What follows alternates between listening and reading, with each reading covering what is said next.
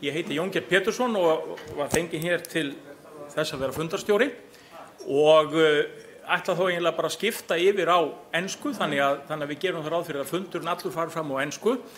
Eh, hins vegar er það þannig ef einhverjur hafa spurningar og eftir og vilja ekki eða treysta sér ekki eða hafa ekki áhuga að spyrja á, á ennsku að þá getum við að sjálfsögðu hjálpa til með að, að þýða, þýða það yfir á ennsku til þess að e, fyrirlesarnir geti, geti átt að sjá hverju eru verið velta fyrir sér.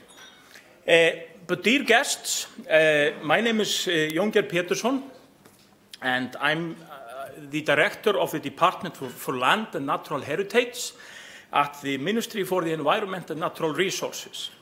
Uh, on the behalf of the Ministry, uh, I would like to welcome you to this uh, conference on wildlife management and its interactions with nature and society.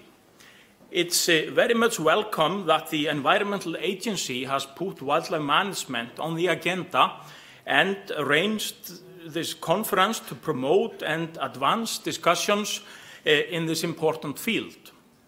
Uh, in addition to the Icelandic speakers today, I would especially like to welcome the foreign experts uh, that have come here to participate in the conference and give presentations on important wildlife-related topics. Uh, it's very much welcome to see Nordic colleagues uh, presenting their policies and practice through, to draw lessons from a peer also people involved in international cooperation, uh, as wildlife management often calls upon cooperation with other countries uh, due to the fact that many wildlife species are transboundary by nature, uh, have, of course, for a long time discovered the good idea that we might have discovered ourselves to leave the cold north during the winter time and head to, to, to, to southern regions. You can think about it once you have the cold blizzard, blizzard as we have now in northern Iceland, uh, which makes, of course, their management inherently an international uh, topic. Uh, wildlife management is an important topic in Iceland as it is in our neighboring countries. Uh, wildlife management connects to many aspects of society and relates to polity, policy objectives that often can be conflicting. Uh, we can mention few issues here from Iceland. Uh, firstly, and perhaps the point of departure is that we want and we are obliged to secure long-term viable populations of our wildlife species. Uh, secondly, hunting contributes greatly to the quality of life for quite many people. Thirdly, hunting has a great potential to contribute to rural development. Fourth, wildlife tourism, where wildlife is more valuable in economical terms, live than dead, is a big sector in Iceland. You have perhaps already, the foreign guests, you have perhaps already been downtown and you've seen the puffin shops, which is becoming the icon for the Icelandic tourism industry. It's a big sector here and rapidly expanding. And perhaps last but not least, wildlife causes a lot of conflicts with other sectors, and then in particular agriculture. So how to strike a balance between those issues is a great challenge, and it's not a simple exercise. And it often promotes a very heated debate. I know that well from the Scandinavian countries, and that's the same we have here in Iceland. And this all calls for good adaptive policies for conservation and sustainable use of wildlife, and also effective implementation of those policies and putting them into practice. And I understand the objective of this conference here today is to advance our knowledge towards this and very much look forward for the presentations and discussions that we have here today. Uh, I have been asked to chair the conference today, and I would like to start by asking the pre presenters very kindly to keep in with the time limits. Uh, we have a, schedule ahead of us where we have a coffee break, and we have a relatively long open session for, for discussions uh, in the end. So if time allows, we might allow short questions directly after the talks, but otherwise we have arranged for a, for a discussion session in, in, in the end of the conference. Uh, by that, I would, I would like to ask the first speaker here up to the podium. Uh, that's Kristín Linda Árnadóttir, who is the Director General of the Environmental Agency of Iceland. Uh, and wildlife management is one of the key roles of her, of her agency. And she will give a talk on wildlife management uh, challenges and opportunities. So please, the floor is yours.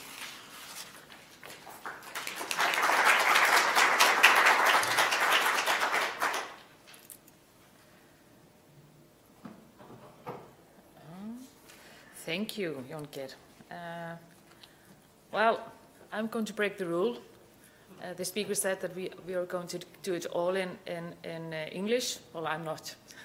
but however, I have told our dear speakers here exactly what I'm going to uh, discuss in my uh, lecture. Uh, so, after uh, velkomin og takk Jón Geir fyrir að stýra þessu fyrir okkur. Ég ákvaði að hafa minn fyrirlestur á íslensku þar sem að þetta snýru þetta mestmægnis eh, að okkur eh, hér og þeirri vinnu sem við erum búin að gera í fortíðinni og hvert við erum að fara til framtíðar. Eh, þar sem við stöndum núna er það að við viljum fara af stað með skýra langtímastefnu varðandi veiðstjórnun. Við eh, viljum sjá að við myndum gera aðgerðar áallun um stjórnun eh, viltra dýrastofna og hún verði, e, náttúrulega fyrst og fremst, við byggjum á því mat á því stöð, þeirri stöðu sem er í dag. Við viljum vita nákvæmlega og vera vissum það hvert við viljum fara og sagt hvar við erum í dag og hvernig við ætlum að komast þangað e, sem við viljum fara. Grunnurinn að því að gera góða stefnu er auðvitað samvinna og þess vegna sagði ég bara þrísasunum, það er bara samvinna, samvinna, samvinna. Uh, en mér finnst líka mjög mikilvægt að við horfumst, uh, að horfum á það að við erum ekkert að byrja á neinum núlpunkti. Það er ímislegt búið að gerast uh, á síðustu árum. Við viljum bara byrja á að minna á lögin okkar sem eru reyndar orðið daldi gömul. Þeir eru frá 1994 en hafa samt sem áður elst alveg ótrúlega vel. Eh, það hefur verið farið í eh, að sagt, farið yfir alla löggjöfun okkar í hinni stóri og miklu skýslu um vend, velferð og veiðar vildra fugla og vildra spendýra. Ég held hún sé eh, svona þykk svo skýsla og ég gerir ráð fyrir því að öll hérna í salnum hafi lúslesið hana. Ef ekki, þá allavega lúslesið hana áður en við förum í þessa stefnumótun, ekki satt? Eh, við höfum farið í að gera samantekt frá samráðsfundum varðandi veiðar á villtum fuglum og villtum spendýrum eh, síðan 2003. Eh, Skotvísi, ég vil minna á það, þeir hafa sett sér siðareglur. Það hefur verið stofnuð samráðsnefnd um sjálfbæra veiðar er fyrst og fremst kemur að útlitum úr veiðukortasjóði. Eh, Náttúrufræðistofnun Íslands hefur sett sér heildstæða eh, vöktunaráætlun og með forgangsröðun tegunda og tillögur að vöktun.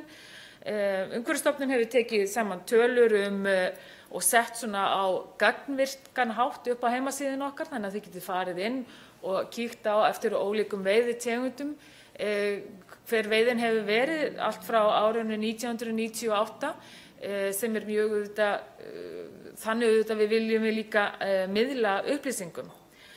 Uh, en það sem að uh, við höfum líka farið þessa leið að búa til svona langtíma stefnumörkun með uppgeru og þá nýrri áallun varðandi refaveiðarnar. Og ástæðan fyrir því ég tek þetta aðeins upp hérna vegna þess að þetta sýnir kannski svolítið vel hugmyndafræðina. Af hverju viljum við búa til svona lengri stefnumótun? Eh, varðandi refaveiðar, ríkið hefur styrkt refaveiðar og sveitarfélögin hafa borið ábyrgð á refaveiðum, já, ég veit ekki hversu lengi, en það er allavega mjög, mjög lengi. Eh, á ákveðnu tímabili fjall eh, ríki frá endurgreiðslum til sveitarfélaga en það var síðan tekið inn aftur og þegar þessi fjármunir fengjust aftur þá fannst okkur mjög mikilvægt að við værum mjög uh, viss um það að þessi peningar yrði nýttir mjög vel. Þess vegna var sett fram áætlun um refaveiðar 2014 til 2016 uh, eftir meðal annars gott samstarf við sveitarfélög og uh, bændasamtökin og aðra og þar var lagt til að veiðiálagið væri í raun og veru óbreytt Hins vegar lögðum við til nýjar hugmyndir varðandi endurgreiðslu til sveitarfélagana þannig að í staði fyrir að miða bara við að eitt skott þýddi ákveðna peningaupphæð að þá miðum við það að, að ábyrðin á að, að halda niðri refastofnunum og þannig koma í veg fyrir tjón. Það væri mismunandi eftir sveitafélögum, þannig að mjög stór og landi mikil sveitafélög með mjög fáum íbúum, hlutvarslega væri meiri kostnaðar hjá þeim. Þannig að við erum að reyna að vera að greiða þeim e, hlutvarslega meira heldur en minni, landfræðilega minni sveitafélögum með fleiri íbúa. E, við lögðum mikla áherslu á það, við reyndum að komast að því hvert er hið raunverulega tjón sem við erum að reyna að varna. Efla grænjaskjáruningu, við vildum efla samvinnu milli sveitafélaga þannig að við lögðum til að ef að sveitafélag væri að bara veiða í kringum tíu refi á ári þá ætti þeir að búa til sameiginlegar áætlanir við sveitafélagum við hliðina á sér og að sjálfsögðu vildum við að í lokin kæmi einhvers konar niðurstöða varðandi stofnstærð. Við gerðum síðan upp þessa áætlun og það var ýmislegt sem gekk vel og annað gekk ekki eins vel eins og svo oft er. Við vorum og fundum það frá sveitarfélögunum að þau voru mjög glöð með þennan fyrirsjáanleika. Þeir voru með fyrirsjáanleika varðandi sinn rekstur, hversu mikla fjármuni þeir ætluðu að setja í refaveiðarnar þá þrjú ár fram í tímann. Menn voru sáttir við þessir sanngirnisrök okkar um það að við værum ekki að borga sömu upphæðina fyrir hvert ref og við vorum mjög ánægð með það. En við komumst eitthvað áleiðist eins og með stofnstærðarmatið en ekki kannski eins langt og, og menn vildu. E, þekkingin á tjóni hefur, já við verðum bara að segja, hún hefur bara aukist mjög, mjög lítið. E, við fórum að stað með að e, búa til eyðublöð sem að voru sett inn á vef bændasamtakana þar sem við bæðum bændur um að skila inn sínum, sínu tjóni sem sagt skráða niður og við óskuðum líka eftir því að, að fá þessar skýslur frá sveitafélagunum, fengum einhverja tilkynningar varðandi æðavarp en ekkit, ekki neina tilkynningar um beint annað tjón af völdum refa. Og þetta er auðvitað það sem við þurfum að skoða enn betur og síðan lögðum við líka áherslu á það að við þurftum að enn að bæta samráðið við Náttúrufræðistofnun Íslands og bændasamtökin. Þetta leiði síðan til nýrrar áætlun 2017 til 2019 þar sem við leggjum nýjar áherslur. Við viljum auka og bæta skráningar á tjóni. Eh, ríkið, ef það á að vera styrkja eh, veiðar á ref, þá er það auðvitað vegna þess að við teljum okkur að við séum að varna einhverju tjóni, ekki satt og þá verðum við að vita hvert það tjón er. Eh, við viljum fá fleiri sameiginlegar áætlanir frá sveitarfélögum þannig að við hækkuðum töluna og við segðum 20, sveitarfélögum sem er með 25 refi að minna eigi að gera áætlanir saman með næsta sveitarfélagi við hliðina á sér. Við viljum markvissari eh, grenjaskráningar og bætta, aðra bætta skráninga á veiðidýrum en þetta er alveg gríðarlega mikilvægur upplýsingar fyrir Náttúrufræðistofnun til þess að þeir geti gert sér betur grein fyrir því hverjir eru, hver er stofnstærðin. Uh, við vildum að sveitarfélagin kemur líka með svona ákveðin áherslusvæði. Á hvaða svæði teljið þið mikilvægast að vinna gegn tjóni. Uh, þannig að þetta, þarna sjáum við hvernig þú býr til áallun, þú gerur hana upp og síðan býrðu til nýja áallun. Og þannig reynur að vinna með það að þekkingin þín verði aðeins betri á morgun heldur hún verði í gær og líka með skýra sín á það hvert þú viljir fara. Uh, þetta er bara varðandi eina uh, dýrategund, eina tegund sem við stundum eðar á. Það sem við erum að horfa á til framtíðar er það að það eru margar nýjar stórar áskoranir. Við þurfum nú þetta fyrst, fyrst og fremst að líta á hvað er gott í núvarandi kerfi og hvað þurfum við að styrkja og ég myndi segja það að það er margt mjög gott í okkar kerfi. Við þurfum að horfa til lofslagsbreytinga, eh, framandi ágengar tegundir, hvernig ætlum við að bregðast við þeim, fjölgun ferðamanna, það er alveg ljóst að, að veiðumenn er ekkit lengur einir upp á fjöllum, eh, á eftir ykkur fylgir líklega rúta af kínverskum eh, ferðamennum. Þannig að hvernig tökumst við á við þetta? Reglur innan friðlistra svæða, ef við ætlum að stækka mjög friðlist svæða á landinu, hvernig fer saman veiðar og, og friðlýsingar,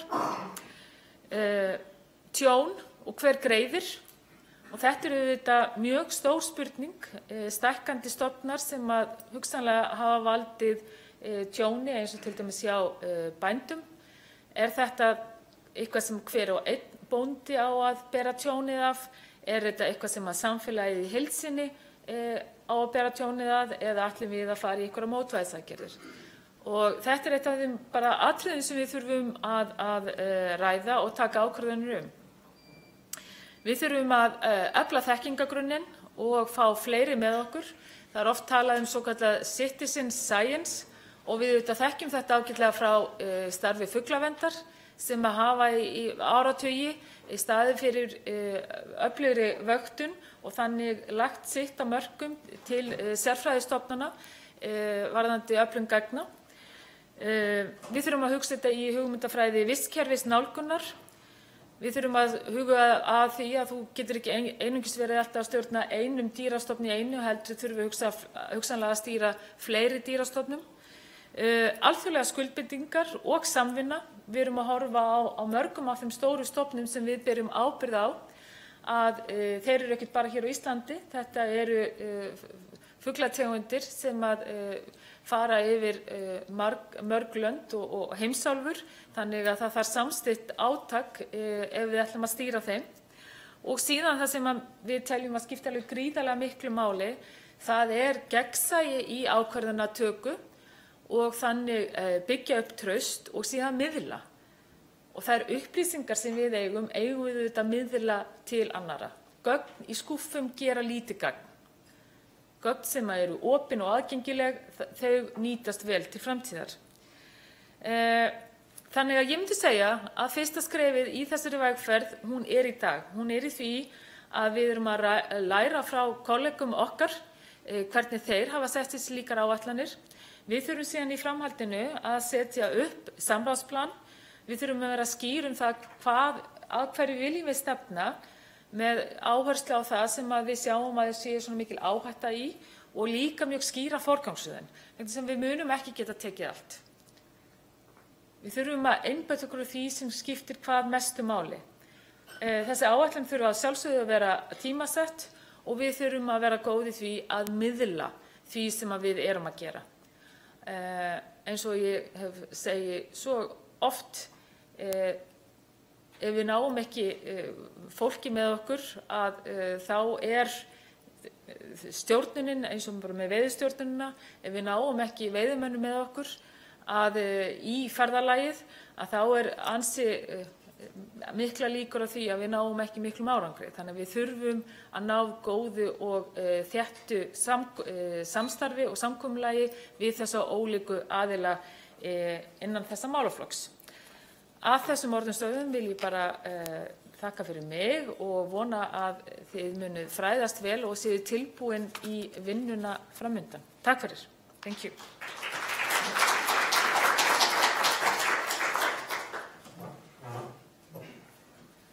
Er ekki búin með tíman? Já, eiginlega já. Já. Heyrðu, Við þökkum Kristín Lundu kjallaði fyrir þetta. Svo við höldum tímaáallunni þá held ég að við kannski bara geymum umræðuna og spurningar þanga til í sessjun og eftir. E, nú veit ég ekki hvort ég á að kynna þú ennsku eða íslensku Kristín, en næ, næstur, í, næstur í pontu er sagt, Kristinn Haugur Skarphéðinsson. E, ne the next speaker is Mr. Kristinn Haugur Skarphéðinsson and he is a wildlife ecologist and the division head of zoology at the Icelandic Institute for Natural History and has a very long-term experience dealing with different topics related to wildlife management in Iceland. So please, the floor is yours.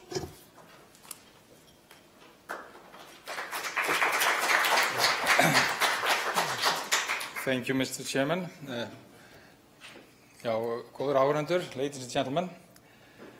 I will uh, try to cover some essential facts in my short talk, um, which is uh, basically a, a summary of my last 20 talks on the same subject.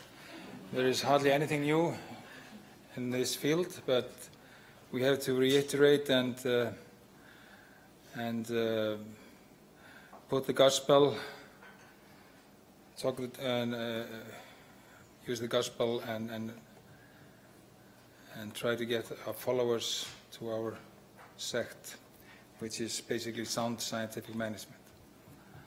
Where is this? Um, hvað er þetta? Þetta er hérna, hérna er þetta. Um, well, um, wildlife in Iceland is very abundant. We have uh, relatively few species, but most of them, many of them are very numerous, like the, for instance the puffin. We have the largest puffin uh, population in Iceland.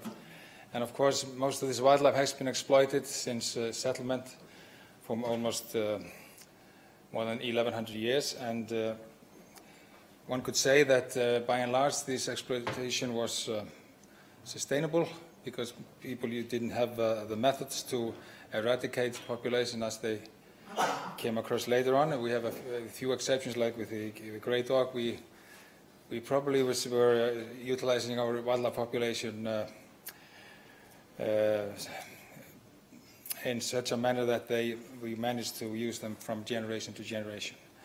But uh, there are some uh, signs now which uh, have which you have seen in, in the development of especially seabirds, which are of course very serious. It's a global trend related to climate change and so forth and so on. So um, of course it's sometimes difficult to, uh, to distinguish between uh, the factors that are causing these uh, serious trends, but still we need to address them and in some cases we have to put up new management schemes or at least uh, collect data so we can uh, address and understand those problems. Um, what I would like to do today is to uh, um, uh, go shortly through the legal frame of wildlife management in Iceland. I would like to talk about uh, some implementation uh, uh, subjects, like uh, especially the eternal question about sustainable hunting. And I would uh, like to address uh, management problems, especially geese, which of course will be talked in detail later on in this meeting. And then I would like to suggest some improvements, how we can go forth, forward and and uh, learn something from all this, what we have actually, uh, learn from what we already know, actually. So the legislation is basically um, the Wildlife Act of 1994, Villidýralögin, and this Wildlife Act is, uh, has largely been implemented by regulations, which uh, tell you how much, how, which species you can hunt at which times with, with the, the methods used and so forth and so on. And this Wildlife Act is uh, uh, based on the Berne Convention of uh, on the Convention, Conservation of European Wildlife and Natural Habitats, which we signed, uh, Iceland signed the same year as the uh, Wildlife Act was uh, passed by, by the Parliament. So uh, I would say, uh, just uh, second what Kristín Linda said just in the previous talk, that this, this, this, the act is rather modern and it's still, although it's that old and has been amended several times and changed, it's still a, a good act, but it needs to be implemented soundly and scientifically. So in, in this Wildlife Act, all wild birds and mammals are included except for seals, dolphins, and whales. This is a very serious uh, flaw, in, in my opinion, and it has not been corrected in the 23 years since this Wildlife Act was passed. Although, uh, so, uh, so according to the, our Wildlife Act, seals and dolphins and whales are not wild animals; they're something else. And uh, as a result, there is no uh, no management uh, ongoing uh, in regards to seals, for instance. And uh, just to take an example, the common seal, landselur, has declined almost by almost 80% since 1980, and uh, this is uh, approximately three, three generation, which uh, would label the common seal as endangered uh, according to the IUCN red list categories. And uh, the, the common seal is not offered any protection and there's no management plan in place. And the same goes for the gray seal, which is also in dire straits. So this is a shame. Shame on Iceland, shame on the politicians who have lived with this for uh, all this time.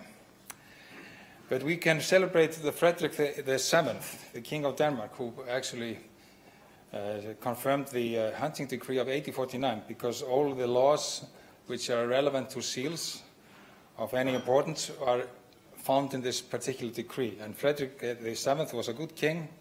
He died, unfortunately, early without any descendants in 1863, and we are still suffering from it because he was a good king, and I like I, most of us liked the time when we were under Denmark. We had good kings, and they did something for us. But now we only have president and parliamentarians.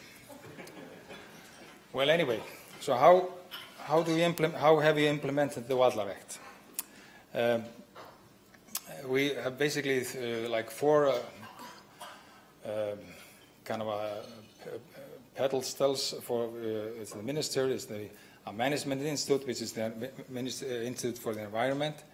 And then we have a research institute, which is the Icelandic Institute of Natural History. So these are the three main components that are um, supposed to uh, carry on the, the Wildlife Act. And uh, uh, I would say that sometimes we have uh, difficulties in uh, communicating, and also because you usually use a lot of letters in communications, it takes a long time to get simple things done. So there has to be, uh, in my opinion, some, um, some better uh, streamlining of this, of this, whole process. But anyway, these, these are the three main components, or the institutes which actually uh, carry on the Wildlife Act.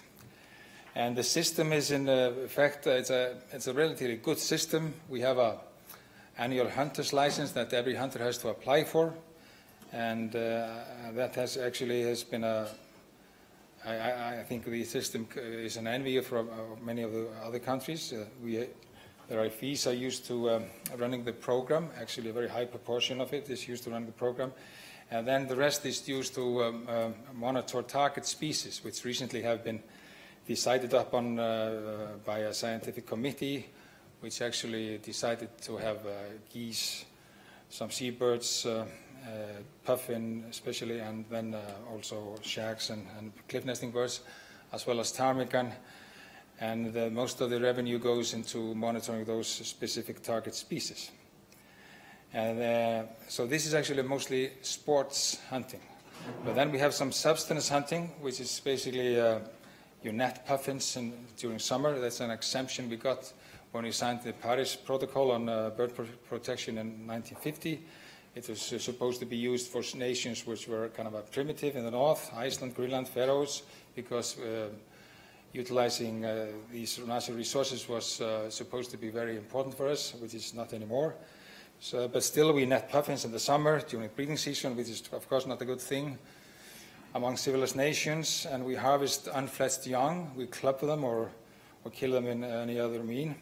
So this is an exemption we, we got, and, and, it's still practiced, but it's um, probably will be outdated soon. And then we have traditional egg and down collection, and we do not need any permission for that. And there is no registration of these, of these uh, harvesting. So this is basically what we do with our, our wildlife, our wild birds. And um, there is a very important clause in the Wildlife Act about sustainable hunting, paragraph 7. The decision to allow hunting shall depend on, the, that, on that recruitment to the population compensates for the deaths due to hunting. So it basically means uh, you cannot allow hunting if it's not sustainable. So, of course, this uh, golden rule has been broken continuously since the uh, since the act was uh, passed in 1994. And so how can we define sustainable hunting? There is some discussion about it, but uh, a few, uh, like two years ago, uh, uh, we did some rudimentary calculations to figure out uh, actually how our hunting could be categorized in view of this special, special clause in the Wildlife Act. And I don't want you to read this. This is basically a, a crude method that is used to substitute uh, poor data. It's uh, called potential biological removal, and uh, the calculations were done by Dr. Erpur Snær Hansen, which is with us today, and he will be happy to discuss you dis- discuss the details with you later on. Anyway, we, we uh, estimated the, uh, the hunting pressure on all the 31 species of birds that are harvested in Iceland uh, with uh, shooting. And as you can see, there, is, uh, there are many birds who have, are calculated as being over-harvested.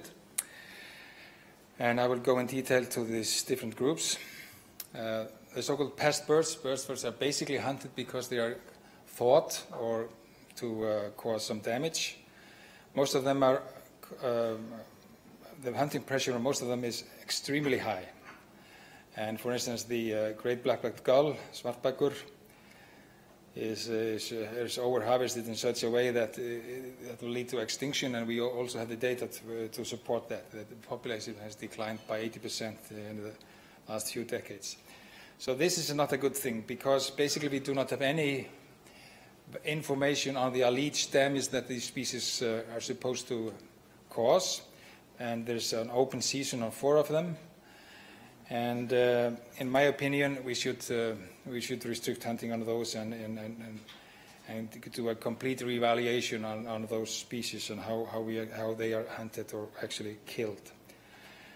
And then we, just as an example of the, the great black gull, you see this uh, mid-winter, mid-winter count index, indices and, uh, and hunting packs, which are of course declining rapidly. And another example is uh, the glaucous gull, which is uh, hardly hunted for food, so you can argue that it's hunted for, for, uh, for to, to, prevent damage, but the, the, hunting takes place in winter when there's hardly any damage uh, caused by those species, and it has declined uh, in considerable amount, uh, more than almost 70% in a, in a few decades. So this is a, a, ugly story, or ugly stories actually. That, um, then we have some seabirds, uh, typical cliff nesting species. On the top of the list of the uh, overhunted uh, species or, or, high pressure, high hunting pressure species actually is the uh, Brünnich guillemot and um, of course, it's a problem that uh, this population has in many other areas. It's not, it's not bound to Iceland, and the causes, of course, for these declines are not necessarily hunting. This is just basically an indication how much hunting pressure they could probably uh, take. And uh, half of these seabirds are, uh, which are game birds, they are, they are, uh, the, the hunting pressure is very high. And uh, the puffin, as I mentioned before, is endangered. It has declined. Uh, the, the, uh, the, recruitment to the population has been almost nil in the, most, of most of Iceland since 1903 or 4. And then we have the wildfowl, which of course are the typical game species. Most of them are, uh, the hunting pressure is low, except probably for the greylag. And uh, the greylag seems to be able to sustain such a high hunting pressure although it's a very volatile situation and it could change uh, easily. So uh, a, a, common game species like the, uh, like the mallard is, is appears to be stable according to our mid-winter count indices. But we do not have any other any measurements on, on the power the population is doing. And then, of course, all the facts that I have mentioned here have been mentioned time and again in various reports issued by councils and uh, committees, hoc committees, uh, long-term committees. So uh, the, the, green, the green report, which uh, Kristín Linda mentioned also, is uh, 436 pages long, of course, but it has a lot of good recommendations. One should read it at least once a year in the Christmas recess. And now I would like to touch upon uh, some uh, specific, specific management uh, issues. It's the geese. Geese have been, of course, two species common in Iceland uh, since living memory. There are signs uh, in the, the, center of Iceland where actually where they were actually harvested. They were uh, gathered when they were flightless into these small pens and, and killed and, and brought to the lowlands where they were consumed. And uh, Today we see large numbers of geese and swans in uh, cultivated lands, which have caused a lot of uh, arguments and discussions and uh, whatever about the, how how terrible they are, and of course uh, they can be. And this is a part of the largest group of greylags that has been uh, observed in Iceland in a, in a field, about 8,000 birds. Of course, this, uh, this field has been already been harvested, and most of the birds actually use fields that, are, that, are, that have been harvested. So the actual damage is not necessarily in the number of birds.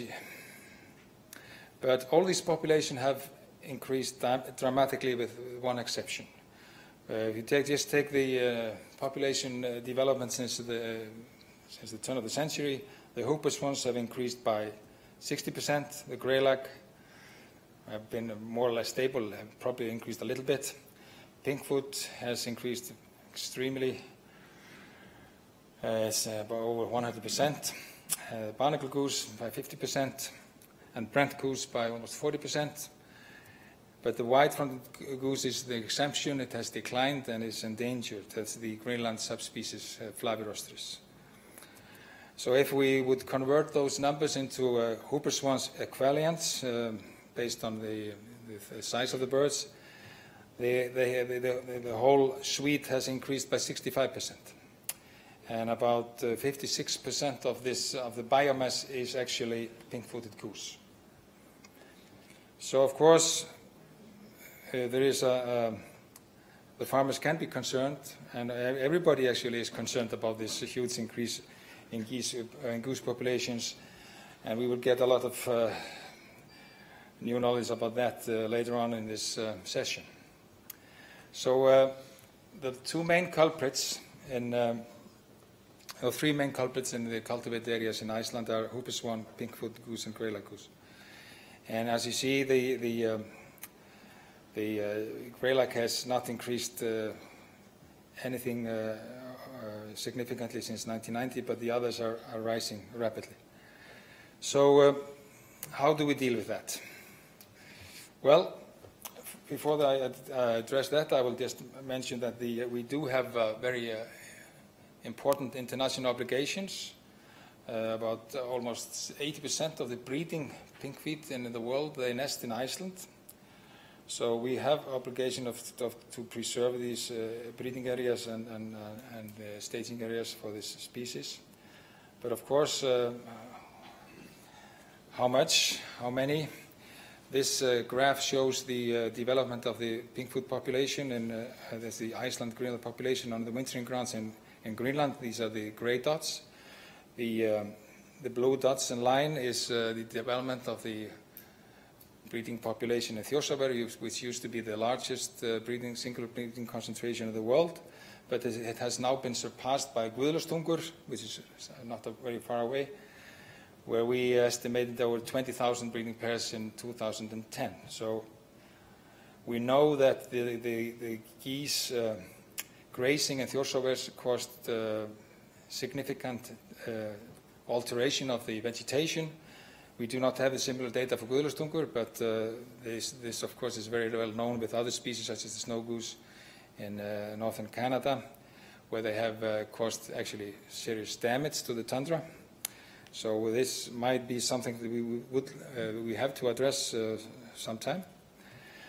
But the uh, the problem with the with the greylag, for instance, is that it's found almost everywhere in Iceland in spring.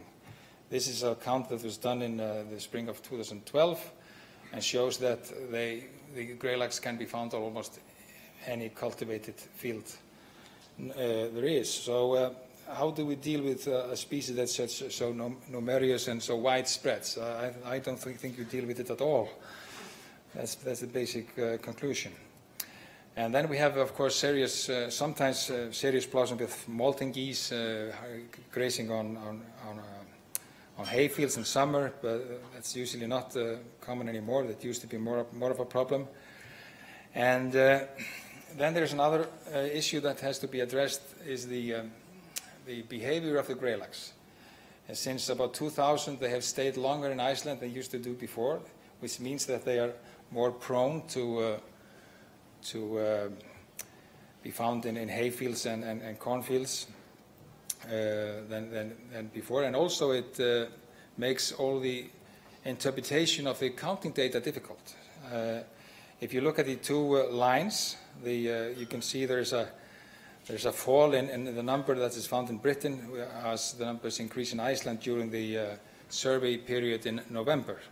So, uh, so if, uh, if this, this uh, development will, continue, you, you, might have a, a resident greylag population of considerable uh, number. So, but this is something that has to be looked into. And, uh, and, it means that we have to change our survey methods also. We used to rely on the Brits to do our surveys, but now it, we have to be able to come up with um, methods and, and uh, financial support to, to, to do them. Uh, uh, cornfields, of course, are, uh, I mean, crop, not cornfield, it's, it's, not called cornfield. Um, crop, which is basically barley in Iceland, is the, it has increased very rapidly. This is a flock found in a harvested field in the south. And uh, so this is a healthy field. And this is a field that has been depredated by probably by uh, whooper swans. Usually this depredation is only found on the edges, but sometimes the whole fields are, are, uh, are damaged.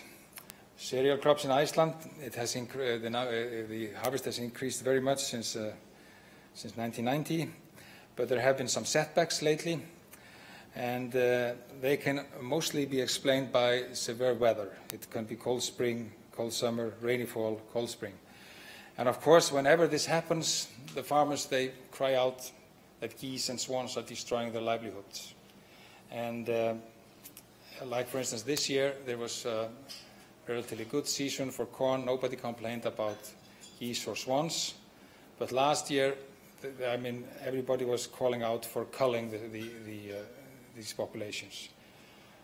But we do not have a very good data on, on the effect of geese on, uh, on these uh, harvests. But we know that if the harvest is late, the geese will come and the swans will come and they might destroy the crop. That's the same story that can be told everywhere in the world. Late harvest means problems because the birds tend to go into the field late. So there has been some uh, investigation done through the uh, Farmers uh, Registry, and they did this in 2014. I think it's a relatively good, um, scientifically uh, sound method to collect data th through a, a, system that the farmers use to uh, register their crop and, and, and so, so forth and so on. This is uh, just an example from the southern lowlands. Uh, the intensity uh, is uh, depicted by the colors. Red, of course, means severe damage, and, and green a little. And uh, the, reported crop depreda depredation uh, was in many other areas. In many areas, just the, and most of them were associated with the large flocks of, of goose or of geese or swans and, um, the swan depredation was found almost throughout the area, and same with the, the greylag. So I say this is a good method to collect the data, but it has to be reviewed. There was, uh, when I looked into this data set, there were some uh, flaws because some of the, one of the farmers probably uh, fell asleep over his computer and he entered 60 times the same amount of damage, exact the same amount of damage, and turned out to be one third of the whole damage in Iceland. And this was not corrected before I got the data set. And uh, so um, you, there, there, have to be reliable uh, people who actually uh, who will, uh, to, who will audit this, uh, this data. But I think this can be used to evaluate uh, at least the crop damage. It's more difficult with the hay fields because that's more of a subject to you know estimate. But anyway, we need we need a better method to estimate uh, the uh, damage caused by swans and geese in Iceland. And I find the new uh, regulations or new, actually new clause in the, there's an agreement between farmers and the government uh, subsidies and, and, as part of it is supposed, part of the money is supposed to pay for depredation. And uh, I don't know if this will be implemented this year, but there is a, an opening to pay by the, using governmental money to pay subsidies for, for damage caused by wildlife. And that's the first time that this is, has happened in Icelandic laws since uh, 1950 when there was for a brief time similar clause in regards to sea eagles. So I think you have to be very careful when you go, uh, when you um, go down this path because you need good data and you have to be able to verify it. And, and in my opinion, that's not still uh, the case. So uh, the Arctic fox is, of course, a poster child for uh, uh, conservation in Europe, but in Iceland it is, uh, it is uh, persecuted and uh, the, government pays a lot of money to, to kill it. And Kristín Linda just touched upon it a little bit. But I would like just to uh, briefly go through my conclusions and improvements. I think we, uh, the legal protection for marine mammals is inadequate. New legislation is, uh, has to be in accord with the Berne Convention. Institutional framework is also weak. Streamline the decision process and lines of command. Strengthen the professional and financial base. A sustainable hunting. Reduce or stop hunting of some species Management plans for all species have to be implemented. That's one of the recommendations by the uh, Wildlife Advisory Committee that, that was given in 2013. And I would say that the wildlife uh, damage control is in shambles. Uh, we need to evaluate the actual damage and possible mitigation efforts, and also evaluate the effect of, uh, of control measures. And that has not been done, for instance, in the case of the Arctic fox.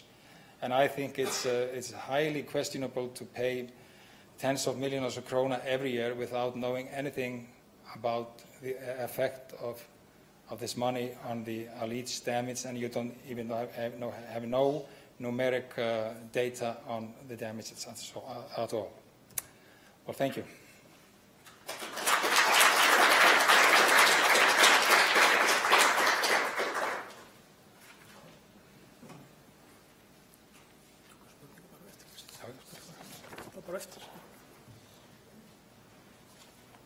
Yeah, we thank uh, Kristinn Haukur for this extremely uh, interesting and informative talk about wildlife and wildlife management in Iceland. Uh, uh, time does not allow questions now, so we take that during the, during the discussion. Uh, so the next speaker we have uh, is Mrs. Maria Hörnell Willebrand. Uh, Maria is a wildlife scientist working with wildlife management, focusing on population dynamics and large-scale management models, and she is currently the, the head of the Wildlife Analysis Unit at the Swedish Environmental Protection Agency. And uh, in her capacity, she also took part in developing the new wildlife management strategy for, for Sweden and her talk is about that uh, strategy, if I understand it correctly. So please, Maria, the floor is yours.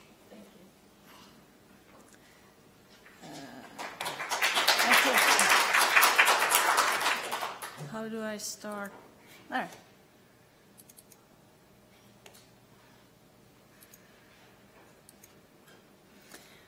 Thank you very much. Uh, I am very pleased, together with Linda from the same department as me, to be invited to get the opportunity to describe how we work with the wildlife management strategy in Sweden. So, as I was introduced, I'm the head of the Wildlife uh, Analysis Unit at the Swedish Environmental Protection Agency that works mainly with wildlife management. And I took with me Linda. She's an expert of regional and national wildlife management, especially when it comes to large predators. So what I'm going to tell you is the story behind the strategy for Swedish wildlife management that we developed.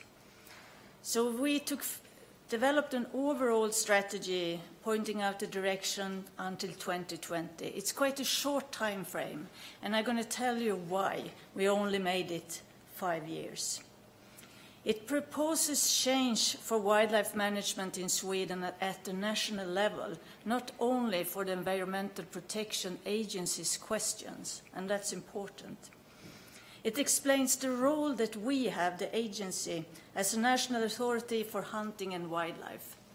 And it shows in detail how we should uh, support the, cent the central or regional management authorities in Sweden. And it is a result of a commission from the government. And a commission is mandatory. That's something you have to do. So we didn't choose to do it. But first, a bit short about Swedish Wildlife Management Organization. The Environmental Protection Agency is the national authority for nature conservation and environmental issues. We are the advisor of the government in these issues, and we also instruct and advise the regional authorities and the public. And we are approximately 500 persons, Eh, and 90 of them are located in the north in Östersund. So I have my office in Östersund. The rest are in Stockholm. And my unit works as experts, mainly in wildlife management. We finance wildlife research. We also buy research and data from scientists, both within Sweden and internationally. We do reviews and synthesis of available scientific findings to be used as a base for wildlife management. And we work a lot with agreements. We have a lot of contractors.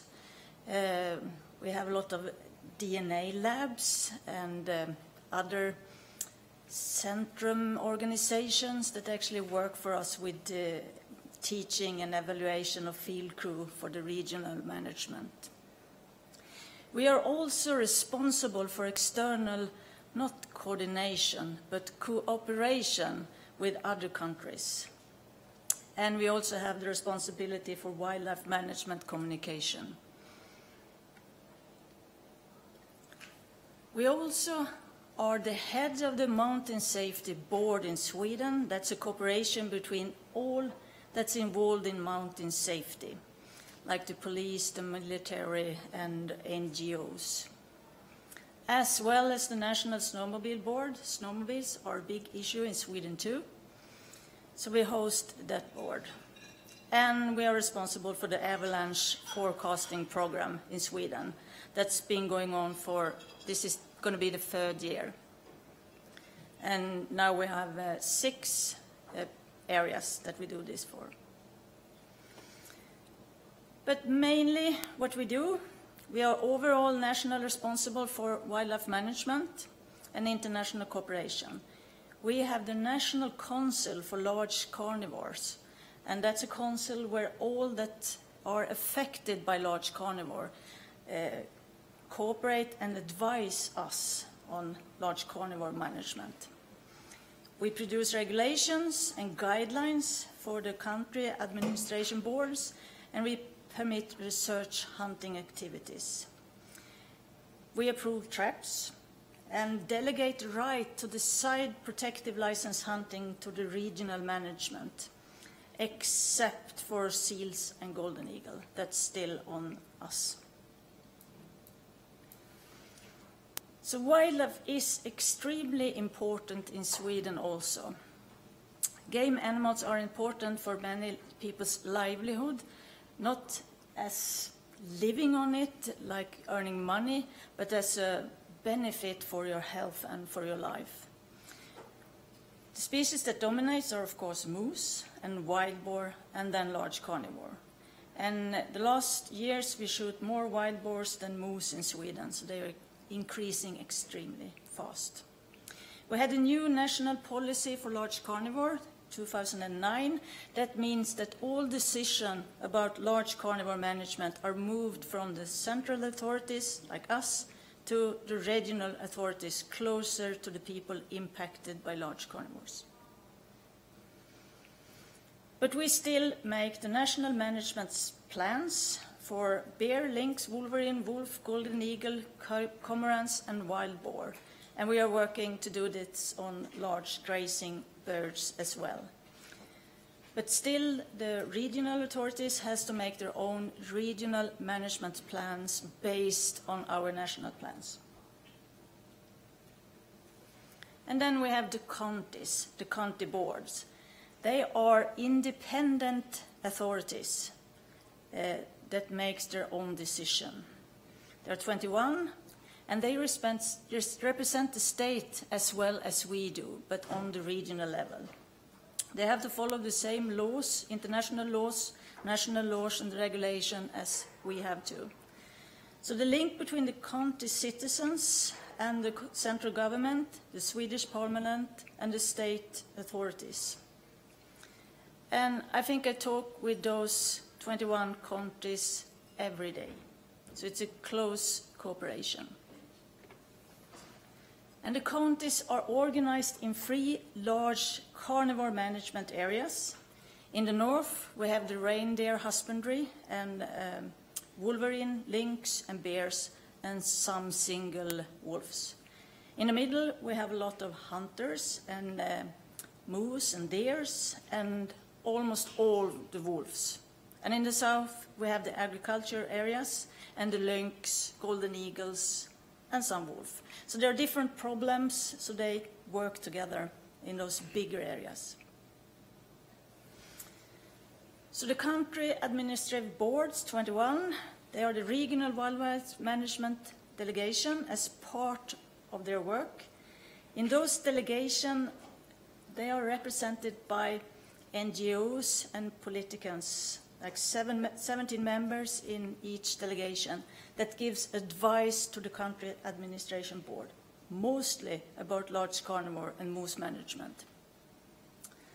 And they give permits and exception, for instance, using lights and image intensifier if you have to do uh, protective hunting. They also are responsible for small game management, and I took one example here because we are on Iceland for ptarmigans. That's completely managed by the uh, country administrative boards, not by the national boards. So this is Sweden. We have uh, willow grouse and rock ptarmigan.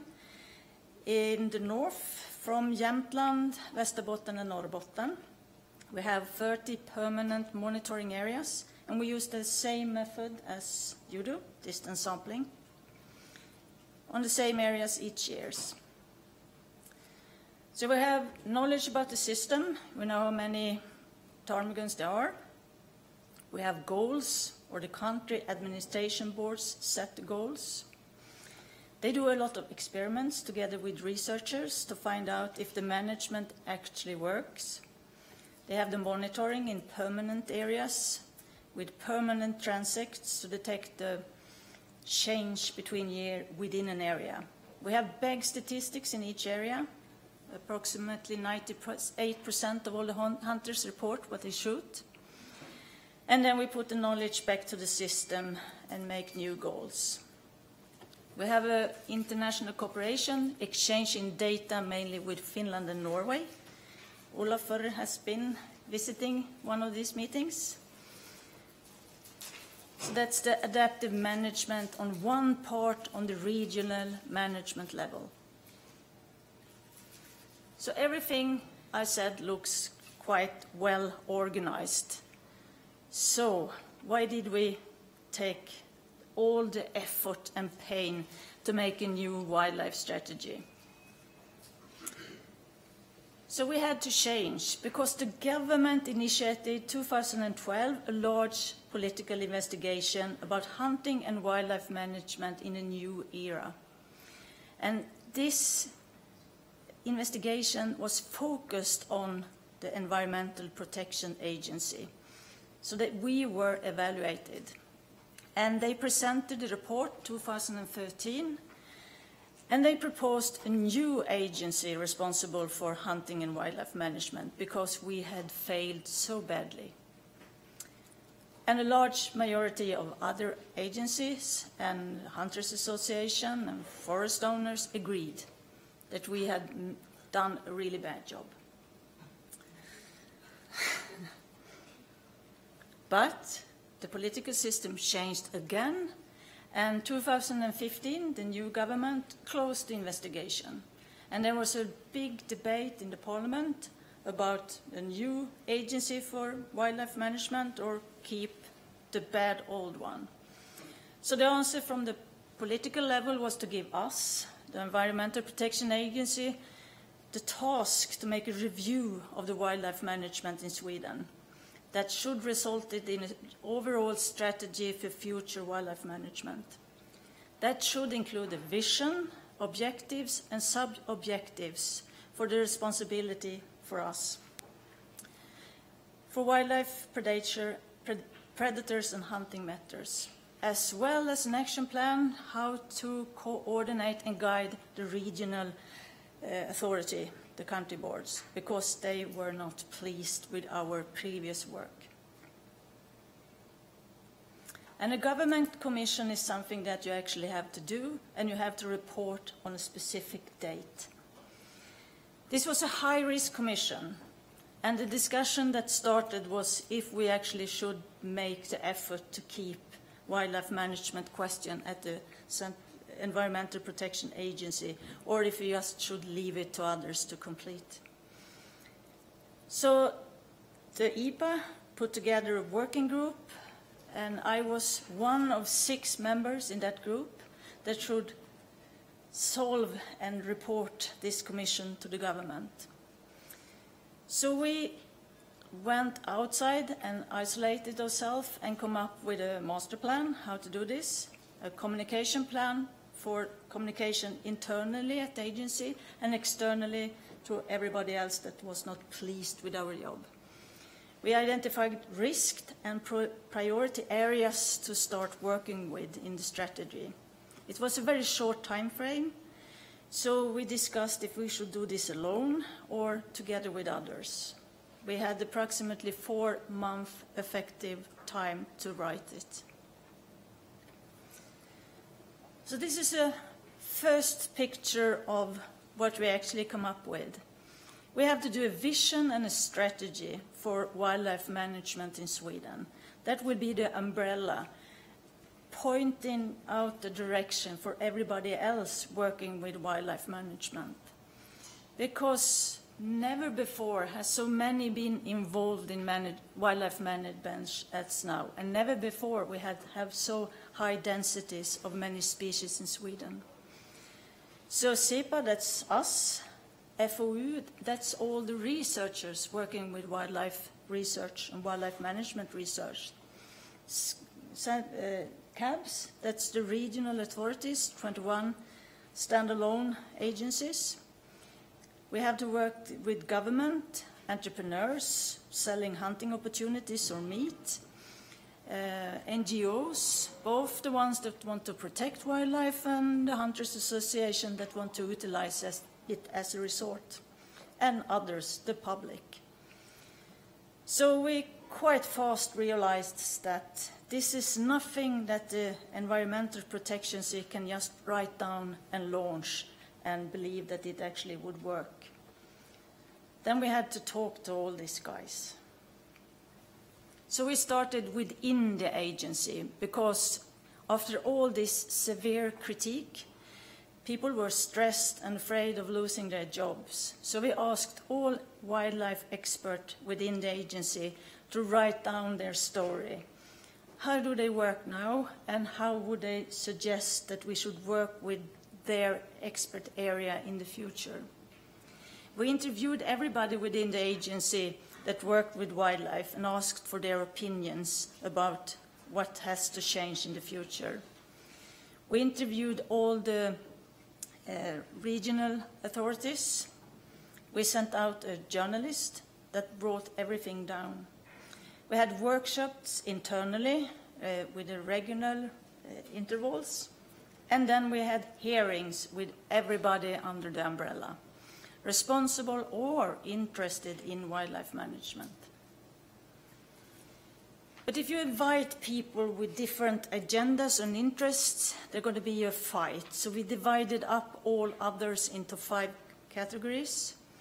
So one day we only talk to animal welfare organization, people that wants to protect wildlife or very interested in specific species. The second day we took all the industries that actually work with forest or agriculture, or um, zoos. The third day, we invited the scientists from all universities working with wildlife management. And then we took all the country administration boards on one day. And the last day, we took hunters, bow hunters, people selling meat, and so forth. And they were extremely unhappy with us and three, four hours, they just told us everything that we'd been done wrong. And then we asked them, so what would you suggest that we should have done instead? And that was quite constructive in the end. But that's a risk.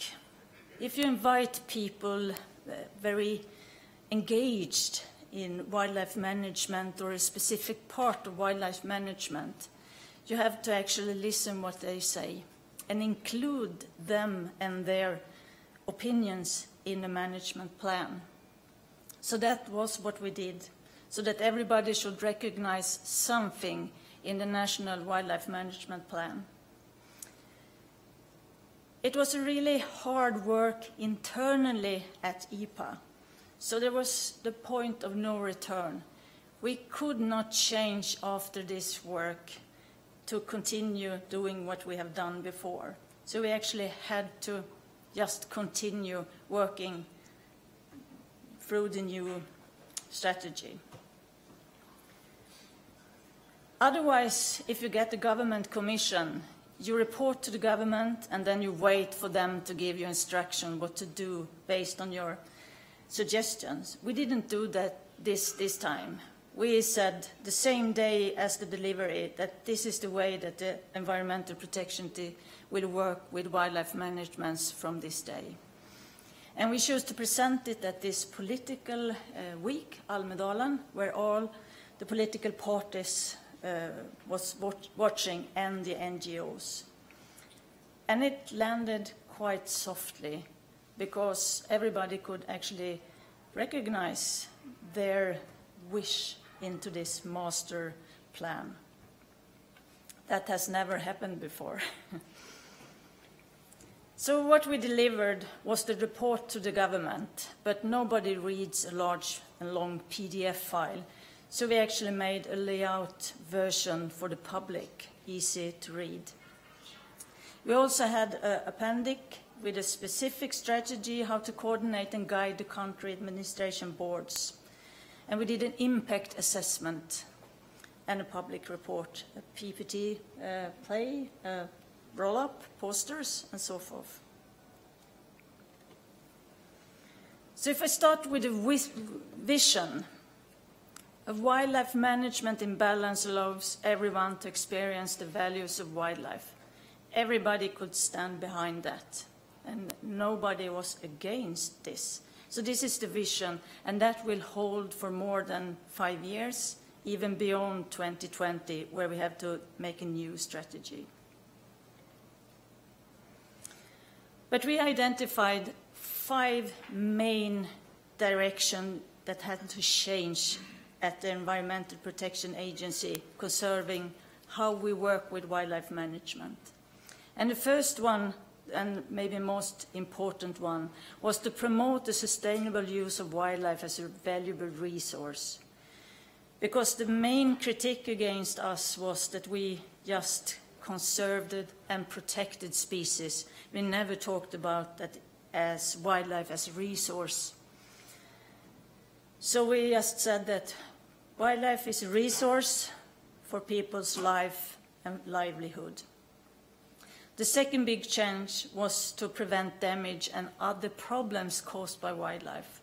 And other problems is not problems that cost money. It's problems that people experience when they have, for instance, large predators close to their farm, even if they don't have any damages. It's a problem. We also have to create a very clear and predictable wildlife management so everybody actually know why we decide specific decisions and what kind of data do we base this on. We also have to buy, build wildlife management on quality assured knowledge so everybody could follow the rationale behind the decision.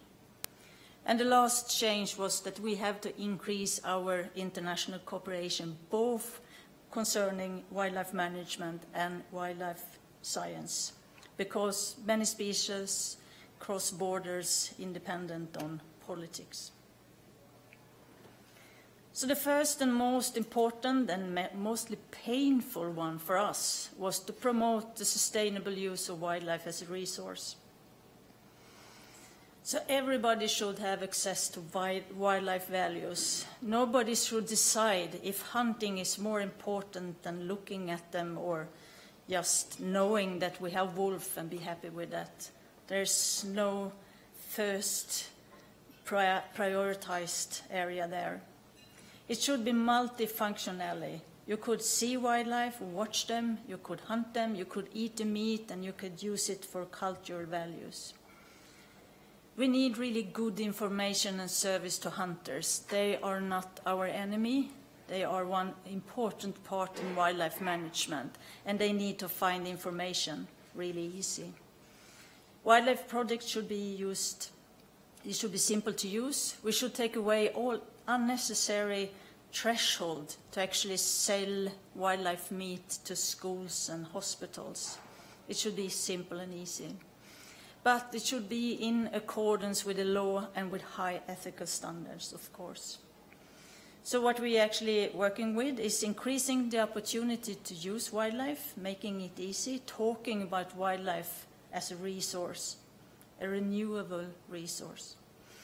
And it should be simply handling meat and other products. That's not our questions, that's another agency, but we organize large workshop talking about the gold of the forest, wildlife meat. The second and maybe most heavy one to work with is to prevent damage and other problems caused by wildlife. So we have to focus on preventive measures. The first thing that you should do when you get a problem is not to kill problem animals. First, you have to try other measures, and then in the end, maybe the killing them is the only measure that's really useful. It should be easy to assess and handle damages. And we have to allocate resources for preventive work so people actually have a chance to, to do it. We have to develop method for multi-species management because a problem never comes alone. If we take uh, the ungulate population we have in Sweden now, we have never had so much moose, deer, and pigs as we have today. And we have to have a clear framework for hunting and feeding because the supplemental feeding made especially the wild boar population really increase fast. So we have provided uh, instruction and guidelines for feeding wildlife. We work together with the Hunters Association that has taken it from where we stopped. And increased support to prevent damage. That's more or less more money to make people actually do it.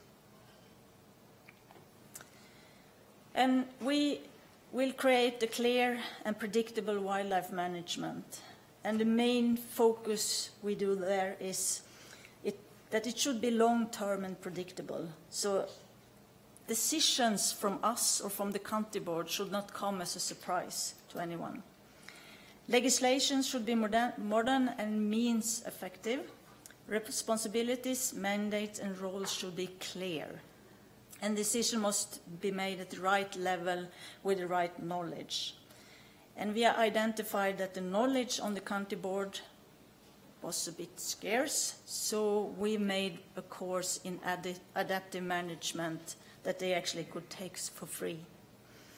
And wildlife management should be done in cooperation because we have to do it together.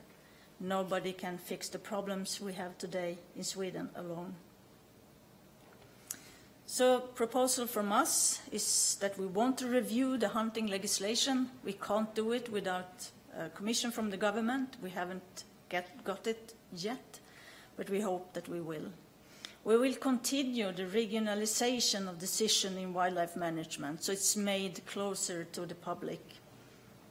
And we will instate a national wildlife advisory board that discuss this in a joint situation and advise us what to do. And building wildlife management on quality assured knowledge was not always the case earlier. And now we do it as long as it's possible to do. So the decisions should be based on the best available knowledge. Each uh, IT system should be modern and user-friendly. It should be easy to find the information that you're looking for in our databases. And all data should be public and available if there's not a concern for species protection. So we have opened up all our database. Almost everything is open for the public, so they can go in and look how many wolf do we have, what's the genetic status of the wolf, and so forth. We don't open up the golden eagle data or the wolverine den data, but otherwise you can find almost everything. And now we're working with making monitoring of wildlife more transparent. Who is responsible on what level for which species? And then the fun part, that's why we're here. We want to cooperate with other countries. Because we are a member state in the European Union, we have to participate because that influences the way Sweden can manage wildlife. And we have to inform the EU about the situation in Sweden back. We should also collaborate with other countries in wildlife management. That should be the rule, not the exception. We have a new memorandum of understanding with Norway and Russia, and we are working hard to get one with Finland too. And we want international exchange of knowledge. We want to found international research projects on wildlife management that are of interest for Sweden too. So, that ended my talk because someone has to evaluate the evaluator, and that's Linda, that, that keeps track on what we actually do at the EPA. Yeah, thanks a lot. Thanks a lot for that extremely interesting presentation on the reforms from Sweden. Uh, and as you say, we have, in a way, this is like a sister talk. So the next speaker is Linda Ersson, uh, who is a wildlife biologist with a background in wildlife management and uh, is currently working on the is uh, working at the wildlife analysis unit at the Swedish uh, Environmental Protection Agency and is a part of the group that has the responsibility to follow up the actions of the, of the strategy that Maria just outlined. So please, the floor is yours.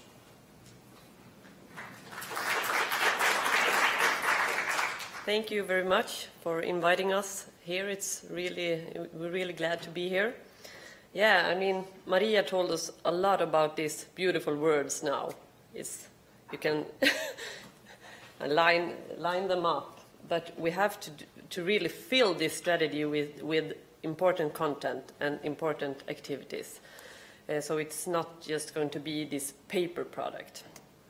And what the government did was to send out this uh, strategy on kind of a hearing because they want to uh, check if uh, uh, if this um, strategy was according to the uh, hearings and if they uh, thought it was okay. So uh, they send it out to other authorities, all the people that have been on these hearings. And in total, it was 44 organizations who answered this, uh, and it's quite many. And um, I mean, it was, of course, uh, some uh, different opinions. Uh, and we haven't had this okay uh, from the government yet, but in uh, the budget proposition in 2017, I mean this year, they pointed out that this, this is something that we should work with. Uh, yes, the 1st of July 2015, uh, after the release of this Almedalen, this political week, uh, we started to work with this, and it was not so easy because it was not fully implemented in our agency, uh, and uh, we had to join three wildlife units uh, uh planning together. And this was three wildlife units that was uh, had different focus. It was our unit at the wildlife analysis, uh, unit, and we are responsible for the uh, knowledge and uh, to financing research. Uh, the second wildlife unit is, was responsible for guidance, uh, and the third wildlife unit was responsible for decision and uh, permits uh, and hunting databases and so on. So we have to join all these three units together. And it was a lot of, at least six directors, and it's a lot of people to join within the agency. And then the Swedish EPA decided to start this uh, evaluator group, uh, which uh, I am one of the of, of the officers in that group, and we have I have three colleagues, and we have the responsible uh, responsible to monitor this work and see that it's really uh, going according to the plan. So it's not just going to be this paper product, and we are organized directly under the, the um, directors of the Swedish EPA. And we have this meeting every three months with the leaders of the agency to follow up the implementation. We discuss and look at how many activities is according to plan, how many is postponed, and how many is requiring more resources. Maybe some of the activities we have to just delete because we couldn't uh, do them. And it's really important then that we communicate why we are delete them. So sometimes we have to reprioritize.